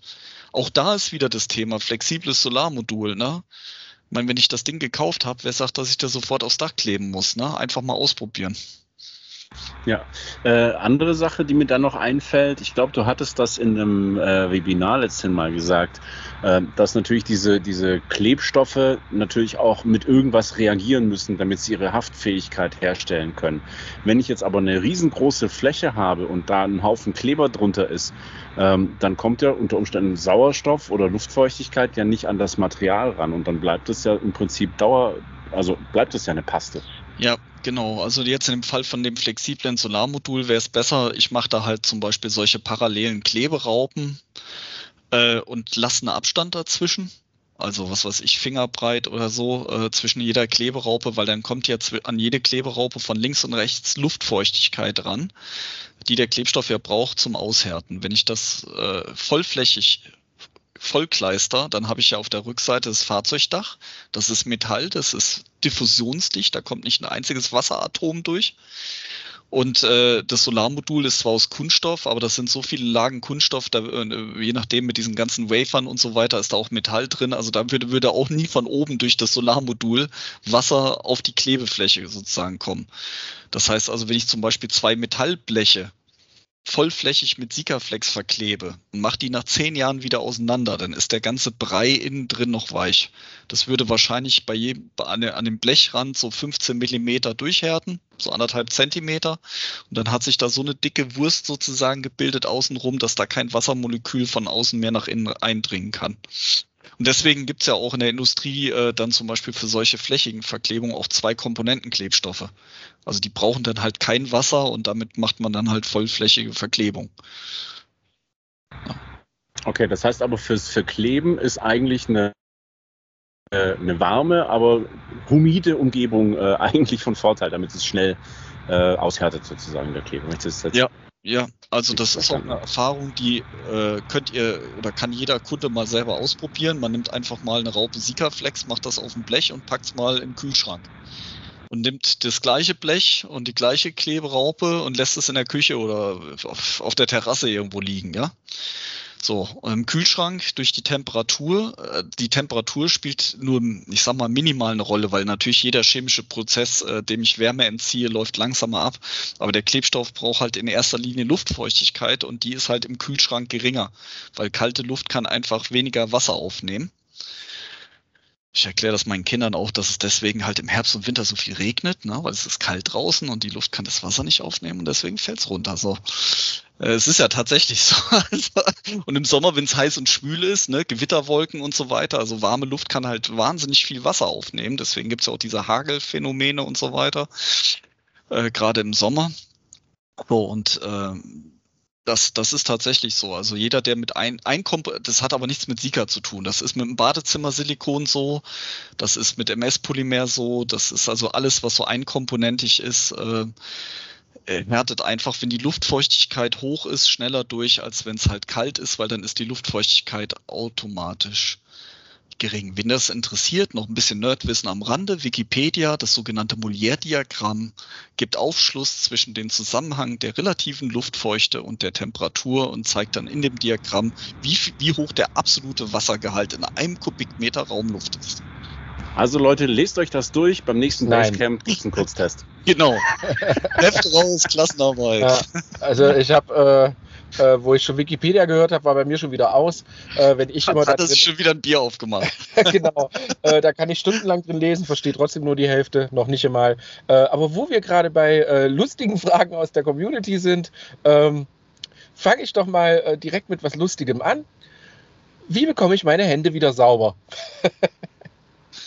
Ja, mit Sieg es gibt spezielle Handreinigungstücher von Sika. Also gibt es einmal Sika Power Clean Tücher oder halt auch sogenannte Sika Hand Clean Tücher. Also die werden dann im gewerblichen Bereich verwendet. Aber ich sag mal, so ein Produkt, was es halt auch online zu beziehen gibt, äh, wie gesagt, Sika Power Clean, das sind halt spezielle Handreinigungstücher, mit denen ich halt auch Sika Flex wieder von den Fingern kriege. Wichtig bei diesen Handreinigungstüchern ist, dass ich die nicht nutze zur Untergrundvorbehandlung, so von wegen, ja, wenn da, ne, also das, weil das ist ein Kosmetikprodukt, das enthält rückfettende Stoffe. Ja, und das macht dann mit Kleben wieder keinen Sinn. Ja, für die Hand ist das gut, ja, gibt einen schönen Tar, aber zum Kleben ist das nicht so doll. Also meinst, das ist ähnlich, ähnlich unklug, äh, als wie wenn man quasi, bevor man etwas äh, silikonieren möchte, Silikonentferner benutzt. Ja, oder Brennspiritus. Genauso schwachsinnig, ja, weil das sind so äh, Vergeltstoffe nennt sich das, ne, wegen Steuer, Ethanol und so weiter drin, damit man es nicht so gerne trinkt. Und äh, die können halt auch rückfettend wirken. Also ich, wenn ihr mal Brennspiritus habt und äh, geht mal auf irgendwas Chrom, Chrom, äh, irgendwas, wo Chrom ist, ja, also weil da sieht man es besonders schön drauf. Oder auf irgend so ein altes Spiegelglas oder irgendwie sowas. Und dann haltet ihr das mal in die Sommer Sonne, da seht ihr so einen richtigen Regenbogeneffekt, so, so, so einen Film, ja. Und auf diesen Film klebst du dann halt drauf und da hält halt nichts drauf. Also äh, nochmal für äh, andere, die immer noch mit dreckigen Händen danach rum. Also ich finde auch äh, Gummihandschuhe während solchen Arbeiten ist auch Ach so, mega ja. Tipp. Äh, äh, äh, ja, ja, Der ist, der, der ist richtig gut. Nein, der, nee, der ist vor allen Dingen goldrichtig. Ich bin nämlich auch so eine faule Socke. Ich, ich habe immer Handschuhe an beim Kleben, aber das ist, hat auch noch einen weiteren Grund. Stichwort Sicherheitsdatenblatt. Weil äh, ich will ja auch den äh, Kontakt mit solchen, ich meine, am Ende sind das immer chemische Produkte, machen wir uns nichts vor, ne? Und genauso, wenn ich auch irgendwie äh, ganz normalen Zaun streiche oder so, sollte ich ja immer vermeiden, mit chemischen Produkten den Kontakt zu vermeiden. Und die Haut ist natürlich ein Weg, wo irgendwelche Stoffe in den Körper können ob das Lösemittel sind oder andere Sachen, die nicht so gesund sind. Und ähm, deswegen ist am besten immer Handschuhe zu tragen, weil auch ich, ich habe auch immer bei den Kunden, die nicht so gerne Handschuhe dann tragen, sage ich immer, ich bin einfach faul. Ich bin nicht so sicherheitsaffin, sondern ich bin einfach faul, weil so ein Handschuh ist viel schneller ausgezogen äh, als die Hände hinterher sauber gemacht. Ne? Einfach so flatsch und tata. Ja, vor allen Dingen, es wird wirklich alles sauberer. Ne? Du kannst, kannst direkt ein bisschen abziehen, wenn was daneben geht, dann schmierst du dich nicht irgendwie voll. Äh, es ist tatsächlich wirklich einfacher und ich habe auch jahrelang, äh, vor allem zu meiner Lehrzeit, äh, mir jeden Tag die scheiß Hände geschrubbt und äh, mich gewundert, warum die nach drei Wochen immer noch nicht sauber waren, äh, bis mir dann äh, mein Altmeister gesagt hat, Alter, zieh dir einfach nur verdammte Handschuhe an. Es ist so einfach und du sparst einen Haufen Reinigungsmittel. Es gibt Gummihandschuhe, die halten zwei, drei Tage. Damit könnt ihr euer ganzes Auto Auto einkleben, wenn ihr damit nicht so rumsaut. Ähm, ja, dann, genau. dann noch so ein kleiner, kleiner Tipp, also keine Latex-Handschuhe nehmen, weil die sind nicht lösemittelbeständig. Ne? Also die, die würden sich auflösen, gerade wenn ich jetzt so Sika-Aktivatoren oder Primer habe, da bringt das nichts. Am besten sind im Umgang mit so chemischen Stoffen generell sogenannte Nitrilhandschuhe, also aus Nitrilkautschuk hergestellt. Äh, äh, die haben, wenn das gute Handschuhe sind, sogar noch so ein Prüfzeichen außen an der Packung, äh, dass die halt chemisch beständig sind. Nur mal so als Tipp. Also wenn einer regelmäßig mit solchen Produkten arbeitet, sollte der sich zugelassene Nitrilhandschuhe halt kaufen. Und die gab es vor Corona auch in jedem Baumarkt billig zu erwerben. Ja, als ja. dann Corona losging, alles, was so FFP-Masken war und ja. Handschuhe und im Verdacht stand, irgendwie gegen Corona zu helfen, war sofort ausverkauft. Aber ich glaube, jetzt gibt es mittlerweile im Baumarkt auch wieder Nitrilhandschuhe. Ja. Äh, übrigens in der Farbenecke. Also bei mir im Baumarkt sind die auch tatsächlich in der Farbenecke, also da, wo die ganzen Wandfarben und so weiter, wo es dann auch diese Röllchen gibt äh, ne, für, die, für die kleinen Farbröllchen. Da waren die Handschuhe zu finden. Wow, jetzt kriegt man sogar einen äh, Leitfaden durch den Baumarkt von Sikaflex. Ich wäre irre. Ja. äh, nächste schöne Frage, äh, über die wir uns vor der Podcastaufnahme noch mal kurz unterhalten haben. Ähm, auch etwas, was uns sehr viel beschäftigt ähm, oder zumindest viel mit uns äh, besprochen wird. Äh, wie dichtet man Schrauben oder Nieten am besten ab? Ich denke, oder zumindest ist es so aus meiner Erfahrung her, ähm, ich schraube was durch das Dach, sei es ein Dachgepäckträger, äh, sei es eine Airline-Schiene, schlag mich tot. Und äh, die Leute wollen, glaube ich, am besten wissen, wie dichtet man sowas am einfachsten ab.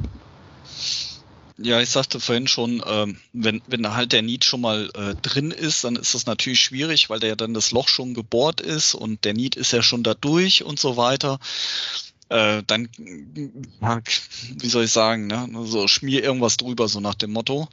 Äh, das ist natürlich dann, ähm, ja, ist so eine optische Geschichte, ob das dann so schön ist, da die, die einzelnen Nietköpfe mit Sikaflex zu verzieren, muss jeder selber wissen, ne? ob das in einem Bereich ist, wo die Optik da eine Rolle spielt oder nicht. Ansonsten, wenn man das natürlich noch nicht gemacht hat, also äh, im Prinzip erst noch nieten will und äh, äh, dann kann man natürlich sagen, okay, ich bohre das Ganze, mache dann halt äh, Sikaflex da drauf, ähm, und setze dann sozusagen mein Bauteil da drauf und ziehe die Nieten, weil dann kann es durchaus sein, dass halt sich das Sikaflex durch das Bohrloch halt noch ein Stück mit durchzieht sozusagen und ich dann halt wie so eine Art Quetschdichtung innen außen habe. Ähm, das ist aber natürlich jetzt so keine klassische, ich sag mal, ich kenne das halt zum Beispiel im Caravan-Herstellungsbereich von diesen Batteriekästen. Ne? Die sind aus Polypropylen, weil chemisch beständig und so weiter. Und da macht man das halt auch so. Ne? Da macht man einfach eine dicke Wurst Sikaflex zwischen dem Deckel und der, der Wanne unten äh, und haut dann die ganzen Nieten da durch und dann habe ich halt so eine Hosenträger-Gürtelgeschichte. Ja? Und das Sikaflex hat, baut da gar keine echte Adhäsion auf, weil auf Polypropylen hält, hält wenig. Ähm, äh, ist aber schön chemisch beständig, aber da geht es dann halt wirklich nur darum, dass ich da halt eine, eine flüssig aufgebrachte Gummidichtung sozusagen denn da habe. Ne? Und das geht natürlich dann auch bei so einer Schiene, denke ich, ganz gut. Ja. Ist halt immer besser auch sozusagen, dass äh, äh ja, sozusagen von innen abzudichten, also zwischen Loch und Nied und der Schiene sozusagen, als wenn ich dann außen wieder was drüber schmiere. Ne? Weil es, es sieht wahrscheinlich auch schöner aus. Herr, Herr Lemke, schläfst du oder? Nö, ich bin, ich bin mal wieder so ein bisschen in den Zuhörermodus äh, verfallen. ich, ich glotze hier das, äh, das Interview und äh, lerne einfach dazu. Äh, in diesem Sinne, ich war gerade zwischendurch äh, durch auch kurz weg und habe mir auch ein alkoholfreies Bier geholt. Äh, Wohlsein. Wohlsein. Oh ja, hat, hat man lange nicht mehr. Stimmt. Wohlsein. Ja, ähm, genau. Was hatten wir denn noch als tolle Fragen? Ähm, ähm, sind ja, geklebte ja. Fenster trotzdem dicht? Also das ist äh, so ein Ding. Ich habe bei mir im, im Van jetzt im Prinzip beide Varianten. Ich kann dann, wenn ich das Ding in 20 Jahren auseinandernehme, äh, kann ich den Vergleich machen. Das eine Seitenfenster habe ich eingeklebt und das andere habe ich eingedichtet. Äh, Kriege ich da Probleme oder wie sieht es da aus? Sag mir erstmal warum. Hast Weil du ich besser wusste am Anfang.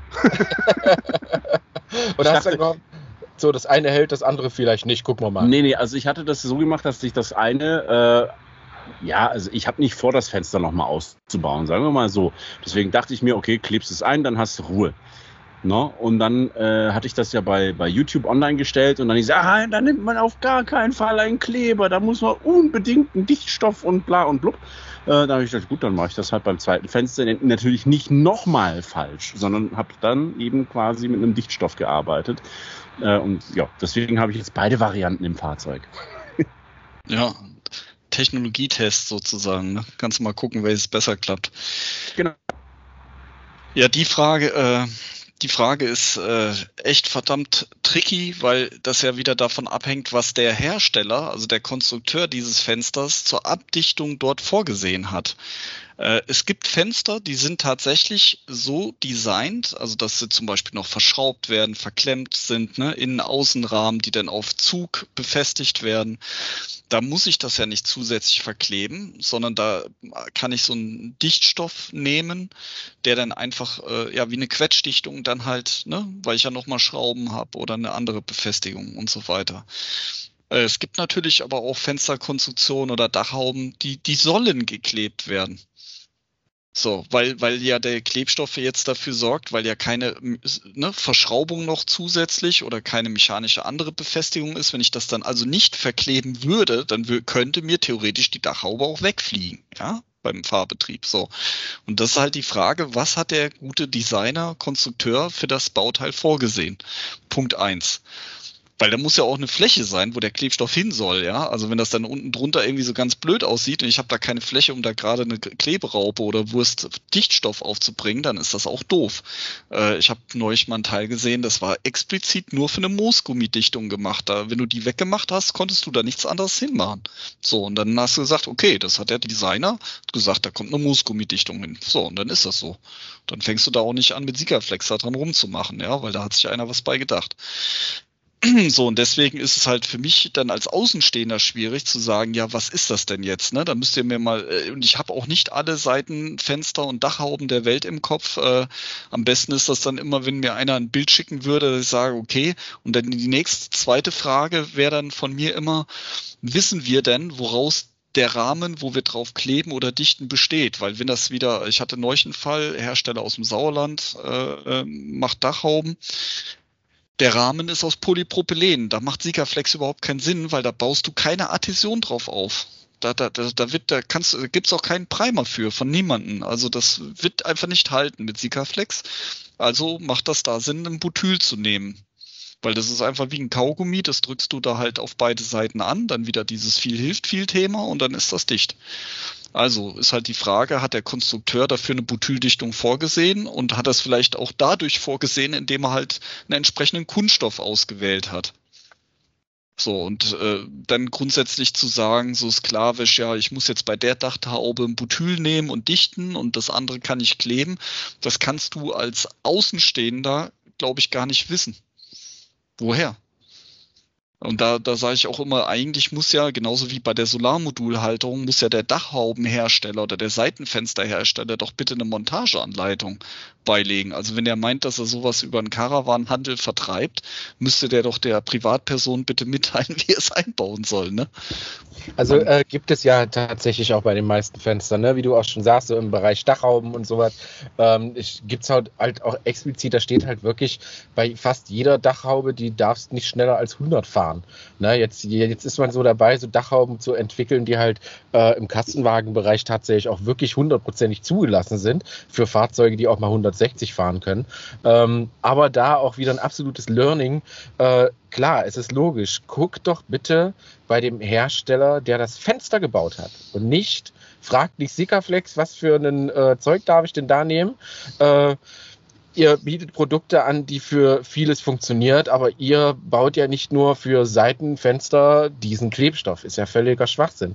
Aber ganz wie du es richtig gesagt hast, äh, der Hersteller hat wahrscheinlich sogar mehrere Dichtarten probiert oder hat gesagt, wir nutzen nun nur den Moosgummi und fertig. Und das äh, steht definitiv irgendwo. Ansonsten, wie das auch bei euch der Fall ist, ähm, fast jede, äh, ich sag mal, jeder Hersteller hat jetzt irgendwo eine Download-Seite. Meistens immer äh, nicht ganz also nicht ganz äh, sichtbar, möchte ich mal sagen. Man muss sich da so ein bisschen durch den äh, Internetdschungel so ein bisschen graben, aber meistens hat eigentlich jeder Hersteller eine Download-Seite, wo ihr Bedienungsanleitung herkommt, ähm, wo Produktinfos dastehen, die äh, wesentlich mehr aussagen als der kleine Zettel, der vielleicht da im Karton beiliegt. Also da, da gerade bei solchen Bauteilen, ähm, die ich jetzt außen aufs Fahrzeug anbringen will oder auch so Sachen, wo hohe Schäden für mich persönlich entstehen können, wie bei so einer Dachhaube, ja. Wenn ich da jetzt irgendwas nachrüste und kaufe mir eine Dachhaube, würde ich auch meine Kaufentscheidung davon abhängig machen, ob ich da eine vernünftige Montageanleitung dabei habe. Und ich habe mir auch schon bei bestimmten Produkten, auch wenn es ein Rasentrimmer war, ist jetzt ein doofes Beispiel, Rasentrimmer, glaube ich, äh, braucht man nicht wirklich eine Anleitung für. Okay, vergessen wir das. Äh, aber es, es gibt halt schon Sachen, wo ich gesagt habe, da lade ich mir vorher im Internet mal die Bedienungsanleitung runter, um zu gucken, ob ich das beherrschen kann. Ja, und äh, wenn man dann merkt, okay, da gibt's keine gescheite Anleitung, das ist nicht bebildert, da sind Rechtschreibfehler drin oder das ist noch nicht mein Deutsch und ich kann kein Englisch oder was weiß ich, dann, dann würde ich da echt die Finger von lassen und halt ein Alternativprodukt, das, dann kostet das vielleicht auch mehr, aber da sitzt dann halt auch einer, der eine Anleitung geschrieben hat und der muss ja auch irgendwie bezahlt werden, ja. Und wenn ich das brauche, so eine Anleitung, äh, dann muss ich halt auch diesen Mehrpreis irgendwo äh, bezahlen, ja, das ist ganz klar.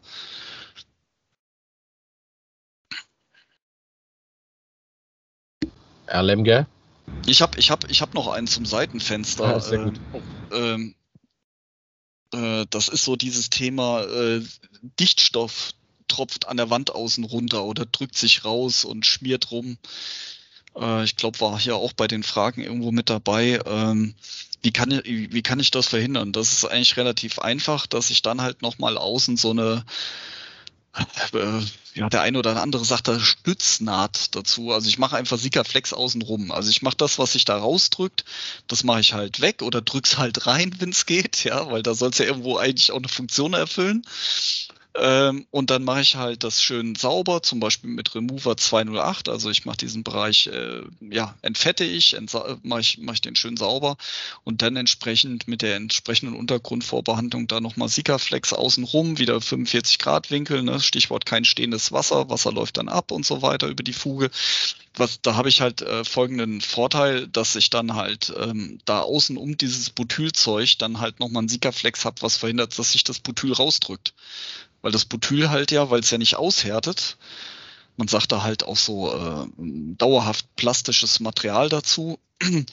äh, das wandert dann halt in dem Rahmen hin und her. Ne? Und wenn es halt sich rausdrückt oder raustropft, dann ist es halt nicht mehr da, wo es eigentlich abdichten soll. Ja? Und äh, wenn ich da halt nochmal Sikaflex 521 UV zum Beispiel außenrum mache, dann habe ich das sozusagen eingesperrt. und dann kann es nicht mehr weg und dann tropft es auch nicht mehr raus. Sehr, sehr guter Tipp. Ich glaube, das ist äh, auch was für äh, Wohnmobillisten, äh, die ältere.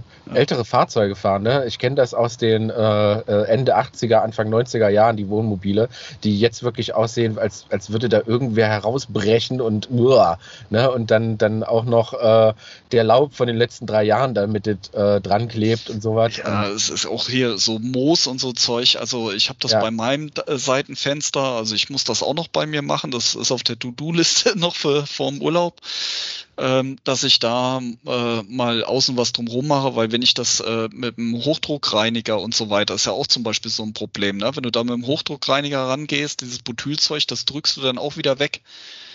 Ja, und äh, ich sehe das dann halt auch immer, was da oben am Seitenfensterrahmen, was da für eine, für eine, für eine Drecksuppe sozusagen mit Moos und so ein Zeug rauskommt. Das heißt also, das Wasser läuft ja dann in den Spalt zwischen Rahmen und äh, Fahrzeug rein, steht da, oxidiert da vor sich hin, dann denkt man ja, das ist ja nicht schlimm, aber im Winter dehnt sich ja Wasser aus, wenn es friert. Und dann drückt es mir diesen Rahmen ein Stück nach außen. Und jetzt habe ich es wieder, ne? Toleranz. Ein Millimeter Spalt und nur 0,5 Millimeter Butyl dazwischen. Und wenn das halt immer wieder passiert, ne? Rein, äh, also diese Walkbewegung, sag ich mal, ne? Taut auf, friert wieder ein, drückt sich wieder auseinander und das Wasser sinkt dann immer weiter rein in den Rahmen. Ne, und das verhindere ich mit diesem Sikaflex, weil im Prinzip das Wasser überhaupt nicht mehr in den Spalt rein kann. Gut. Sehr schön. Ähm, wir sind schon wieder enorm lange dran, aber so ein paar Fragen haben wir noch. Vielleicht können wir sie relativ schnell ähm, abarbeiten. Ich, ähm, ich, ich, ich, ich, ich, ich, ich, ich. Bitte. Jetzt habe ich den Manuel die ganze Zeit geärgert, er soll auch mal was sagen. Jetzt sagt er was und jetzt will ich aber auch mal was sagen. Weil ich glaube, ähm, ich glaube, ich habe äh, was gelernt bei der folgenden Frage. Ähm, stellt Sika auf äh, äh, Kleber auf was? Stellt Sika auf Kleber her, der auf PE oder PU-Tanks hält. Äh, in Klammern, hatte größere Probleme, meinen Wassertank abzudichten. Mit Sika konnte ich einfach so abziehen, ohne jeglichen Rückstand. Das hört sich ganz danach an, äh, falsches Produkt auf äh, falscher Oberfläche mit äh, gar keiner nee. Behandlung oder äh, Nee, das ist ein äh, Grund, Grundproblem. Also er meint wahrscheinlich PE, also das PE ist Polyethylen und er meint dann aber nicht PU, weil PU wäre ein Polyurethan-Tank. Das hätte ich noch nie gehört im Fahrzeugbau. Vielleicht gibt's das, aber wahrscheinlich meint er eher ein PP-Tank, also Polypropylen. Daraus sind zum Beispiel auch Regentonnen. Äh, da hält nichts drauf. Warum? Das sind äh, äh, Kunststoffe, Polyolefine heißt diese Gruppe hat nichts mit Delfinen zu tun, sondern Polyolefine, PE, PP. Und äh, die haben eine niedrige Oberflächenenergie. Das ist so wie eine Art Teflon beschichtete Bratpfanne. Da hält nichts drauf. In der Industrie gibt's dort äh, Möglichkeiten, mit äh, spezieller Untergrundvorbehandlung, man nennt das Plasma, Corona oder auch Beflammung, also tatsächlich offene Flammen, äh, wird dann die Oberflächenenergie dieses Kunststoffs verändert, die Molekülstruktur und dann kriege ich da eine Verbindung hin mit Klebstoff, ja. Aber für den Do-it-yourself-Bereich funktioniert das überhaupt nicht, weil da braucht man teure Maschinen und Geräte dafür und äh, einfach hoffnungslos. Also du kriegst auf dem PE-Tank kriegst du nichts äh, zu, zu halten. Das ist ja wieder das Beispiel mit dem Batteriekasten äh, beim Caravan-Hersteller, die werden halt zusätzlich vernietet. Also du kannst nicht auf PE oder PP irgendwas kleben. Da es gibt es gibt für bestimmte, ich sag mal Sekundenklebstoffe gibt's so super teure Polyethylenprimer ne, von XY-Hersteller, aber das ist alles für den gewerblichen Bereich. Also muss man einfach aufgeben. Nehmt euch einen Gefrierbeutel zum Beispiel zu Hause, so eine ganz normale Plastikgefriertüte, die ist aus Polyethylen. Da könnt ihr den Effekt mal ausprobieren. Da macht ihr mal eine Sikaflex-Raupe drauf. Das könnt ihr einfach so abziehen. Ne? Und man erkennt das auch schön an einem Wassertropfentest. Also wenn du einen Tropfen Wasser nimmst, einfach aus einer Pipette oder aus einer Trinkflasche äh, und machst einen Wassertropfen und der gibt so einen schönen Bauch, ne, wie bei einem gewachsenen Auto, dann weißt du, dass die Oberfläche eine niedrige Energie hat. Und das ist bei so einem PE-Tank absolut der Fall. Äh, das ist ja auch eigentlich gewollt bei so einem Frischwasser- oder Abwassertank, weil wenn da noch nicht mal ein Wassertropfen dran hält, dann hält da halten auch die Fäkalien oder sonstiges oder Bakterien auch nicht gut dran. Ne? Ja, also andere Tank aussuchen. Äh, womit dichte oder klebe ich mein Edelstahl-Waschbecken an eine lackierte Arbeitsplatte? Äh, das sagt dann auch wieder die Vorbehandlungstabelle. Muss ich jetzt mal Oh, bis jetzt gerade mal gucken. Ich mache die gerade mal schnell nebenbei auf. Edelstahl, Edelstahl, Edelstahl. Was muss ich da vorbehandeln? Edelstahl, Edelstahl. Da oben haben wir es Edelstahl. Ähm, ja, wenn das im Fahrzeug ist, einfach entfetten. Und das andere war lackiert, 2K-Lack äh, reicht auch entfetten. Und dann mit, äh, also einfach entfetten, zum Beispiel mit Sika Remover oder mit Isopropanol, ja, äh, mit reinem Isopropanol entfetten. Und dann kann ich das einfach mit Sikaflex 552 zum Beispiel verkleben. Fertig. Tipptopp. Ähm, Resistenzen gegen Öl etc. Muss ich mir da Gedanken machen, welches Produkt ich verwende? Ja, ähm, grundsätzlich sagen wir halt immer, also die Produkte sind halt kurzzeitig medienbeständig. Also jetzt, wenn da mal so ein Tropfen Öl da drauf ist und dann wieder auch mal weggenommen wird oder abläuft irgendwo hin, ja, dann ist das nicht so das Problem, aber ich kann damit keine Ölwannen abdichten, weil ähm, da gibt es zum Beispiel auch für den Tankstellenbereich. Ihr kennt alle die in den Tankstellen, wenn ihr tankt unten diese Pflastersteine und da ist so eine schwarze Dichtmasse und die ist speziell, äh, äh, die, die hält drei Tage lang stehenden Sprit aus und dann ist selbst das Zeug kaputt. Also es gibt halt kein, kein Material, also es gibt natürlich spezielle Silikone für Getriebe, Ölwannen und sonstiges. Meistens sind das Silikone, die sehr gut medienbeständig sind oder auch Epoxidklebstoffe. Aber ich sag mal, das, was ihr jetzt so unter Sikaflex kennt, ist halt nicht geeignet, um dauerhaft gegen Öl abzudichten oder auch sonstige äh, also es müssen nicht nur immer Säuren sein, es können auch, gerade Mineralstoffe sind extrem aggressiv. Also, also es gibt ja so ein Lied von, von, der, von Rammstein hier, Benzin und so weiter, willst du es nicht mehr von wegen auflösen und so. Also, wie gesagt, wenn ihr was auflösen wollt, schmeißt es einfach in den Benzintank rein und dann ist es irgendwann weg. Ja. Okay. Aber äh, sagen wir mal so, äh, wenn kurzzeitig irgendwas drüber läuft, ist es kein Thema. Ich mache das sauber und alles wieder gut, ne? Ja, die Produktdatenblätter sagen aber auch auf der Seite 2 immer, äh, äh, wie gut das Produkt gegen entsprechende Medien äh, äh, geeignet ist. Da steht dann aber leider auch immer so ein bisschen, ja, weil man will sich da natürlich auch von der Herstellerseite nicht festlegen. Ähm, dann heißt es ja, ist kurzfristig beständig. Ne? Was ist kurzfristig? Ja, kurzfristig heißt halt nun mal nicht dauerhaft. Ja, so. Aber wie schon gesagt, ne, wenn da mal, äh, wenn ich da unterm Fahrzeug was abdichte und da kommt mal ein Tropfen Öl dagegen, dann ist das nicht nicht schlimm. Ja. Ja. Christian. Oh, soll ich jetzt wieder eine Frage stellen? Ja. Äh, maximale Dicke der Dichtwurst. Ich finde ein teurer Satz. Ja, also, ich, ich, weiß schon, dass du dir die ausgesucht hast, weil du äh, die, nach, die danach nicht fragen wolltest. Warum? Ähm, ich glaube, bei dieser, äh, weiß da wieder um, um, da steht was von vegan. Aber kommen wir gleich zu. Äh, bei, bei maximaler Dicht, äh, Dicke der Klebwurst war, glaube ich, auch so ein bisschen äh, mitgeschwungen die Frage. Ähm, man hat ja diese Sicken am Dach und wenn man da jetzt quasi sein Dachfenster einkleben möchte, äh, gibt es ja so äh, möglich oder gibt es so Spezialisten, die sagen, okay, dann machst du einfach drei Zentimeter äh, Sika und dann klebst du das einfach ein. Ja, ich sag mal, die Höhe ist ja nicht das Problem. Also elastisch äh, kannst du fast, äh, ist nicht ganz richtig, was ich jetzt sage, aber mal so pauschal äh, in den Raum geworfen, äh, äh gibt es eigentlich keine so wirklich maximale Klebschichthöhe. Ja, das Problem ist ja dann immer wieder beim Thema Durchhärten dann die Breite. Ja, so, also so, du kannst, du könntest jetzt drei Zentimeter in der Sicke hoch machen, solange die Kleberaupe dann von jeder Seite, äh, ich sag mal, vielleicht auch nur höchstens drei Zentimeter ist, ne, wieder dieser 15 Millimeter links und rechts, weil da ist dann meistens Schluss. Also man sollte eine Kleberaupe von der Breite sozusagen, nicht von der Höhe, äh, nicht viel breiter machen als drei Zentimeter, weil äh, irgendwann härtet es halt in der Mitte dann nicht mehr aus. No, weil es muss halt Luftfeuchtigkeit von links und nach rechts dran äh, ja kommen und in der Mitte ist dann irgendwann halt Feierabend. Ne? Aber in der Höhe ist man eigentlich nicht, nicht so wirklich beschränkt. Äh, ist natürlich so, wenn ich jetzt irgendwas wahnsinnig hoch elastisch kleben würde, ich meine, irgendwann macht es natürlich überhaupt keinen Sinn mehr. Wenn ich irgendwas 10 Zentimeter, dann habe ich da ja so, so, so ein wabbliges Gummi da sozusagen. ja. Aber ich sag mal so, äh, die, die Klebeverbindung, ob ich da jetzt äh, zum Beispiel drei Millimeter, fünf Millimeter oder acht Millimeter hochklebe, da sind die Unterschiede dann hinterher auch in der Festigkeit nur minimal unterschiedlich. Es wird natürlich, je höher ich elastisch klebe, wird es irgendwann mal schlechter, ne? weil ich dann natürlich einfach mehr weichen Brei habe in der, in der, in der Verbindung. Ne? Aber wie gesagt, das fängt dann vielleicht bei 13, 14, 15 Millimeter, aber wer klebt auch schon viel höher als anderthalb Zentimeter, ja. Aber wenn ich was abdichten will, ja, zum Abdichten ist das okay, da kann ich auch drei Zentimeter hoch abdichten, nur ich darf halt nicht zu breit sein. Spannend. Das heißt, also ich mache jetzt einfach mal wieder so ein bisschen den Dummy wie die ganze Zeit schon. Ähm, ich habe ein Dachfenster. Das wird sogar verklemmt in, in, mit einem Innenrahmen. Das heißt, eigentlich muss ich es gar nicht kleben, ich kann es nur dichten.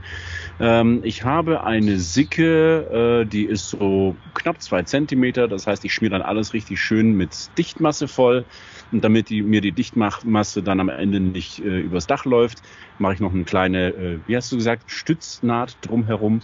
Ja, ich äh, hätte jetzt noch, noch einen Tipp, äh, so wie, äh, weil ich diese Sickengeschichte hat man ja oft mhm. auch bei Solarmodulhalterungen und was mache ich da? Äh, jetzt speziell in dem Fall, es gibt im Baumarkt sogenannte Polyethylen-Rundschnüre in verschiedenen Dicken. Ja, das ist einfach so eine, so eine, ja, so eine so eine Schaumwurst, hätte ich fast gesagt, aus Polyethylenschaum. Äh, die werden im Bau auch genutzt äh, als äh, Klebstoffbremse. Also wenn ich jetzt ähm, zum Beispiel jetzt diesen Fall habe, dann suche ich mir halt so einen Schaum, der äh, so eine, so eine, so eine Rund, Rundschaumgeschichte, die halt ein bisschen höher ist als die Sicke. Also wenn die Sicke meinetwegen 15 Millimeter hat, dann nehme ich so ein Ding, was vielleicht 18 Millimeter hat, weil dann habe ich drei Millimeter Kompression. Ähm, das drücke ich dann sozusagen bis an den Rahmen von der Dachhaube nach hinten dran, weil ich will ja außen meinen Sikaflex haben, ne, zum Abdichten. Weil was, was wir beim Kleben oder beim Abdichten speziell nicht wollen, ist eine sogenannte drei Seiten, äh, äh, drei Flankenhaftung. Also dass du quasi wie ein U an allen drei Seiten von dem U Adhäsion hast, weil wenn sich dann diese Geschichte bewegt durch Temperatur, dann kann es sein, dass es an einer Seite reißt. Ja, und wenn du dann sozusagen hinten in die Sicke äh, so eine PE-Rundschnur reindrückst, dann hast du ja an dem PE, haben wir ja gelernt, keine Adhäsion. Das äh, verhindert aber auch, dass du da sinnlos unendlich viel Sikaflex reinhältst, weil dann äh, drückst, dann härtet es ja auch nicht mehr aus. Ja, und ähm, dann applizierst du deinen Sikaflex gegen diese PE-Rundschnur und hast sozusagen dann nur eine Adhäsion zwischen dem Rahmen oben von der Dachhaube und dem Dach unten in der Sicke sozusagen. Jetzt müsste ich das mal aufzeichnen. Ja. Das ist jetzt äh, hier so verbal schwierig zu erklären. Sehr spannend, aber ich bin ja, äh, ich weiß ja, dass Christian jetzt demnächst sein neues Fahrzeug ausbaut äh, und da kann er genau das mal machen und zeigen, wie das dann funktioniert. Ja, also ich habe ja schon mal er schüttelt den Kopf. Nein, ich habe ja schon mal angeboten, wenn ihr wieder Workshops macht und so. Ähm, also das sind ja auch Sachen, die sind ja schnell gezeigt, ja. Also so PE-Rundschnur habe ich auch bei mir im Keller. Äh, das muss ja dann für den Fall nicht die richtige Höhe haben, aber dass man mal das Prinzip erklärt und sagt, ne, das drückst du jetzt da an das Loch rein und machst einfach vorne Siegerflex dran und fertig. So, ist eigentlich ganz einfach. Sehr schön. Christian, nächste Frage. Ja, nächste Frage. Äh, Du, ich, ich, muss jetzt die Frage stellen, kann das sein? Ja. Toll. Gibt es umweltfreundliche, schrägstrich vegane Klebeprodukte? Wo, wo war denn die Frage versteckt? Unvorbereitet, unverhofft kommt oft. Ja, gleich, gleich hüpft doch bestimmt irgendwo Greta aus der Kiste, oder? Ja, genau. Kann ich mit Kleber zwei Hamster zusammenkleben oder irgendwie sowas? Äh, äh, davon, davon rate ich ab mit den Hamstern. Auch vom Verzehr von Sikaflex rate ich auch ab, ja. Äh, ja, nee, dieses Thema umweltfreundlich ist äh, tatsächlich so ein äh, Thema. Ich meine, Nachhaltigkeit ist ja schon so ein Megatrend auf jeden Fall. Ähm, ähm, ich sag mal, ich glaube, das spielt ja eher darauf ab. Ich meine, jedes chemisches Produkt äh, äh, verbraucht Ressourcen, da brauchen wir uns nichts vormachen. Ne? Die Kartusche ist aus irgendwas, äh, äh, der Inhalt ist aus irgendwas, also von daher ähm, so. Also es gibt natürlich mittlerweile auch Hersteller, die bieten Klebstoffe an auf der Basis natürlicher Rohstoffe. Ähm, Das hat sich aber, wenn ich jetzt mal so in der Industrie gucke und auch unsere Marktbegleiter, hat sich das jetzt nicht so wirklich durchgesetzt. Ich glaube, was aber schon ein Punkt ist, ist so dieses Thema, was kommt denn aus diesen Produkten raus bei der Verarbeitung? Also dieses Thema Arbeitssicherheit, ja, weil keiner, der mit einem Produkt arbeitet, möchte ja gerade, wenn er was im Innenraum abdichtet und schläft da mit Kindern drin und so, möchte er nicht irgendeinen Mist einatmen, ja. Ja, das sind der Leute Asthma, Allergien oder sonstige Sachen kriegen. Und äh, die Produkte, die wir äh, ja, ich sag mal, die Produkte haben halt auch in den letzten Jahren immer weiter eine Reduktion von organischen Lösemitteln erfahren. Es gibt auch viele Produkte, die sind lösemittelfrei, also da einfach mal in das Produkt oder auch Sicherheitsdatenblatt reinschauen äh, und sich dann unter diesen Gesichtspunkten was aussuchen. Und die Produkte, die wir jetzt auch fürs nächste Jahr rausbringen, die sind äh, zum einen halt ne, Isocyanat, PVC-frei, lösemittelfrei und jetzt kommt's ganz neu bei Sika äh, wird das Thema sein oder ist auch schon bei vielen Produkten das Thema Phthalatfrei. Also ne, ich habe ja hier so eine Trinkflasche, da steht auch drauf BPA-free, ne? Weil diese Phthalate, die haben so äh, hormonähnliche Wirkungen und reichern sich auch im Körper an und können dann halt auch zum Beispiel äh, erbgutschädigend sein und so weiter und so fort.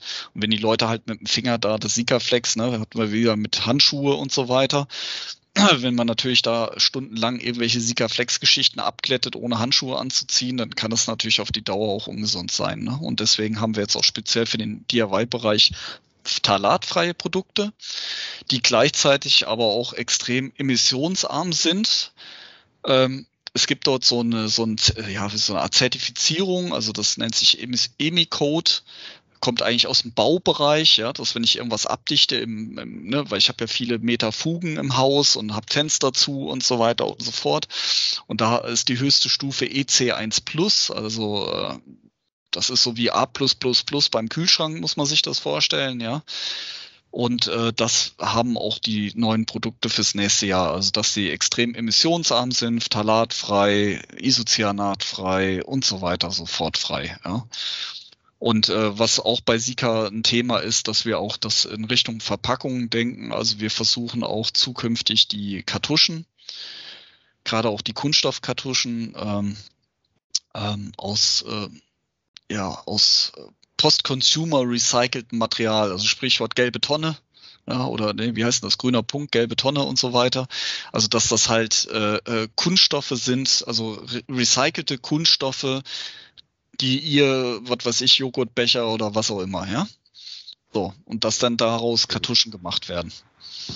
So, also es gibt diese, es, also es gibt diese Trends auch bei Sika absolut. Ich denke, jeder größere Konzern äh, wird auch von seinen Investoren heutzutage gefragt, was man in der Hinsicht macht. Da reicht die Solaranlage auf, auf der Betriebskantine irgendwann nicht mehr aus, ja. Und äh, äh man kriegt dann natürlich halt besser Geld von Investoren, weil äh, weil das einfach ein Thema ist, was heute, heute halt, ja, es ist halt ein Trend, ja, und dem muss man halt Rechnung tragen. Und ich persönlich muss auch sagen, ich finde das klasse, ähm, dass wir da halt Produkte äh, dann haben, die sozusagen ähm, für den für den Privatanwender in der Anwendung weniger gefährlich sind als auch hinterher im Betrieb. Ja, weil es gab da sicherlich oder auch beim bei Marktbegleitern Produkten da kommt halt mehr raus, ja. Das ist ja. halt sehr schön. Also, also ihr kennt eine... das, dieser Neuwagengeruch, ne? Ja. äh, das, äh, was ja alle so schön finden. Äh, ich sage immer, am besten so ein Auto drei Wochen in die pralle Sonne stellen und danach mal ordentlich durchlüften. Sehr schön. Gut, äh, Thema Nachhaltigkeit ist auch noch die letzte Frage. Äh, und auch so ein bisschen Sparsamkeit. Es geht darum, wenn ich jetzt so eine Kartusche angebrochen habe, ähm, wie kann ich die lagern äh, und wie lange kann ich die lagern, damit ich nicht, nur weil ich jetzt mal kurz einen Klecks gebraucht habe, das Ding gleich wegfeuern muss? Ja. Ähm, da gibt es viele Tricks. Ähm, es gibt ein paar Produkte äh, bei Sika, zum Beispiel Sika Flex 111 oder so gerade so gelbe Bauprodukte, die haben jetzt mehr und mehr schon solche, äh, ich sag mal, äh, Stopfen mit Gewinde, ja, die kann ich dann sozusagen drauf machen. Wenn ich die Kartusche natürlich zu weit abgeschnitten habe vorne, dann geht das natürlich nicht mehr, weil dann das Gewinde weg ist. Ähm, aber generell gibt es so einen alten Trick, äh, äh, den ich eigentlich empfehlen kann. Und zwar, ich nehme einfach äh, eine neue Düsenspitze Also ich mache eine neue, also wenn ich die alte angeschnitten habe, dann funktioniert der Trick halt nur, wenn ich eine neue Düsenspitze nehme. Ich nehme also eine neue Düsenspitze, drücke das Sikaflex, bis es vorne rauskommt, aus der Düsenspitze raus und hau mir dann noch eine Schraube da vorne rein. So, warum? Wir haben ja gelernt, ne, Sikaflex braucht Luftfeuchtigkeit zum Aushärten. Äh, wenn ich da eine Schraube drin habe, die besteht ja aus Metall und durch Metall geht ja kein Wasser durch. Ne? So, und damit ist das Thema erledigt. So, und dann kann ich halt, ich sag mal, so eine Kartusche, ich mache da auch immer gerne Experimente bei mir selber im Keller und probiere aus, wie lange das dann noch hält.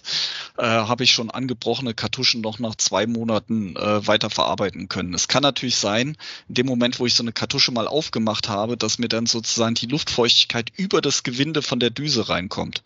Weil ja diese Kunststoffgeschichten ne, von der Kartusche und der Düse, da sind ja auch Toleranzen drin in den Kunststoffbauteilen da kann, da kann halt auch Wasser reinziehen. Aber generell, es gibt auch Leute, die machen zum Beispiel Butyl, also dieses so Sikalastomer oder äh, von anderen Herstellern machen einfach diese Butylgeschichte außen an die Kartuschenspitze dran. Also der Trick ist halt immer Material rauspressen, bis oben das Sikaflex rauskommt aus der Düse und dann da irgendwas hinmachen. Butyl ist zum Beispiel sehr dicht, einfach so ein Böppelchen Butyl da dran basteln oder halt äh, eine Schraube, eine billige verzinkte hier, ne, irgendwas da reindrehen mit dem Akkuschrauber oder was und dann, ne, wenn du weiterarbeiten willst, drehst du die Düse ab, äh, machst eine neue drauf oder wenn du Glück hast und hast die Düse nicht durch die Schraube kaputt gemacht, kannst du auch einfach die Schraube rausdrehen und dann weiterarbeiten. Ja, und, sehr cool. Äh, ich, ich sag mal generell, generell äh, ja, da gibt's, es ist halt auch zu empfehlen, die Kartuschen dann einfach auch nicht dann über 25 Grad zu lagern oder so. Also dann ist halt besser, man bringt die in den Keller und so weiter, weil, ne, das ist ja wieder da, wo es kälter ist, ist weniger Luftfeuchtigkeit. Am besten ist, ihr packt das Sikaflex in den Kühlschrank. Mutti wird sich freuen. Mutti freut sich, ja. Und äh, Fatih abends, ne, wollte eigentlich doch noch mal einen Schluck trinken und hat auf einmal Sikaflex am Hals, ja. Da sind wir wieder bei den veganen Produkten. Ne? Warum schmeckt das so komisch hier? Ja. Andreas. Sehr schön. Du hast mir äh, gerade meinen äh, Akkustand leer gesaugt. Ähm, eine grandiose Folge. Also wirklich, wirklich krass. Wir haben viele, viele Fragen beantwortet. Ich habe schon wieder was gelernt. Und das äh, will bei mir was heißen, weil ich bin lernunfähig und äh, wirklich grandios und äh, ich hoffe, euch da draußen hat es auch was gebracht, aber ich denke, äh, wir haben so ziemlich alle Fragen beantwortet. Ansonsten haut euch der liebe Manuel noch die einzelnen Links in die Show Notes, wo ihr mal äh, nachgucken könnt, was vor allen Dingen Haftung von Sikaflex und so weiter äh, verlinkt auf jeden Fall auf die Camper-Seite äh, von Sika, was wirklich sehr interessant ist. Und ähm, ich bin völlig platt, völlig begeistert, weiß gar nicht mehr, was ich sagen soll. Deswegen vielen lieben Dank, lieber Andreas. Ich gebe ab an Herrn Lemke. Ja, auch von mir herzlichen Dank. Äh, das war sehr aufschlussreich und äh, wir packen das ja auch wieder auf YouTube, wenn nichts schief geht. Äh, und da können wir natürlich auch schauen, wenn noch irgendwelche Fragen auftauchen, dass wir die eventuell im Nachgang dann auch noch beantworten. Andreas, vielen lieben Dank, dass du die Zeit für uns genommen hast. Ja, sehr gerne. Ähm, hat auch Spaß gemacht. Äh, waren ja wirklich auch ein paar lustige Fragen äh, so dazwischen. Und ja, ich kann äh, mich nur nochmal bedanken, dass ich die Möglichkeit hatte, hier für die Firma Sika da ein bisschen was zu erzählen. Und ansonsten, wie schon gesagt, äh, ich werde alle Fragen ähm, also ich sag mal, das Best-of der Fragen packen wir auch nochmal auf unserer Caravan-Seite. Da gibt's so eine Rubrik Fragen und Antworten und äh, das lebt halt auch wirklich von den Fragen, die reinkommen. Deswegen, hier waren wirklich klasse Fragen dabei und ich denke, da haben die meisten auch was davon und können was mitnehmen. Perfekt. Super. Dann sagen wir vielen Dank. Vielen Dank. Tschüss und äh, wir hören uns dann einfach in 15 Tagen wieder. Bis dahin, wir hören uns. Ciao. Ciao. Ciao.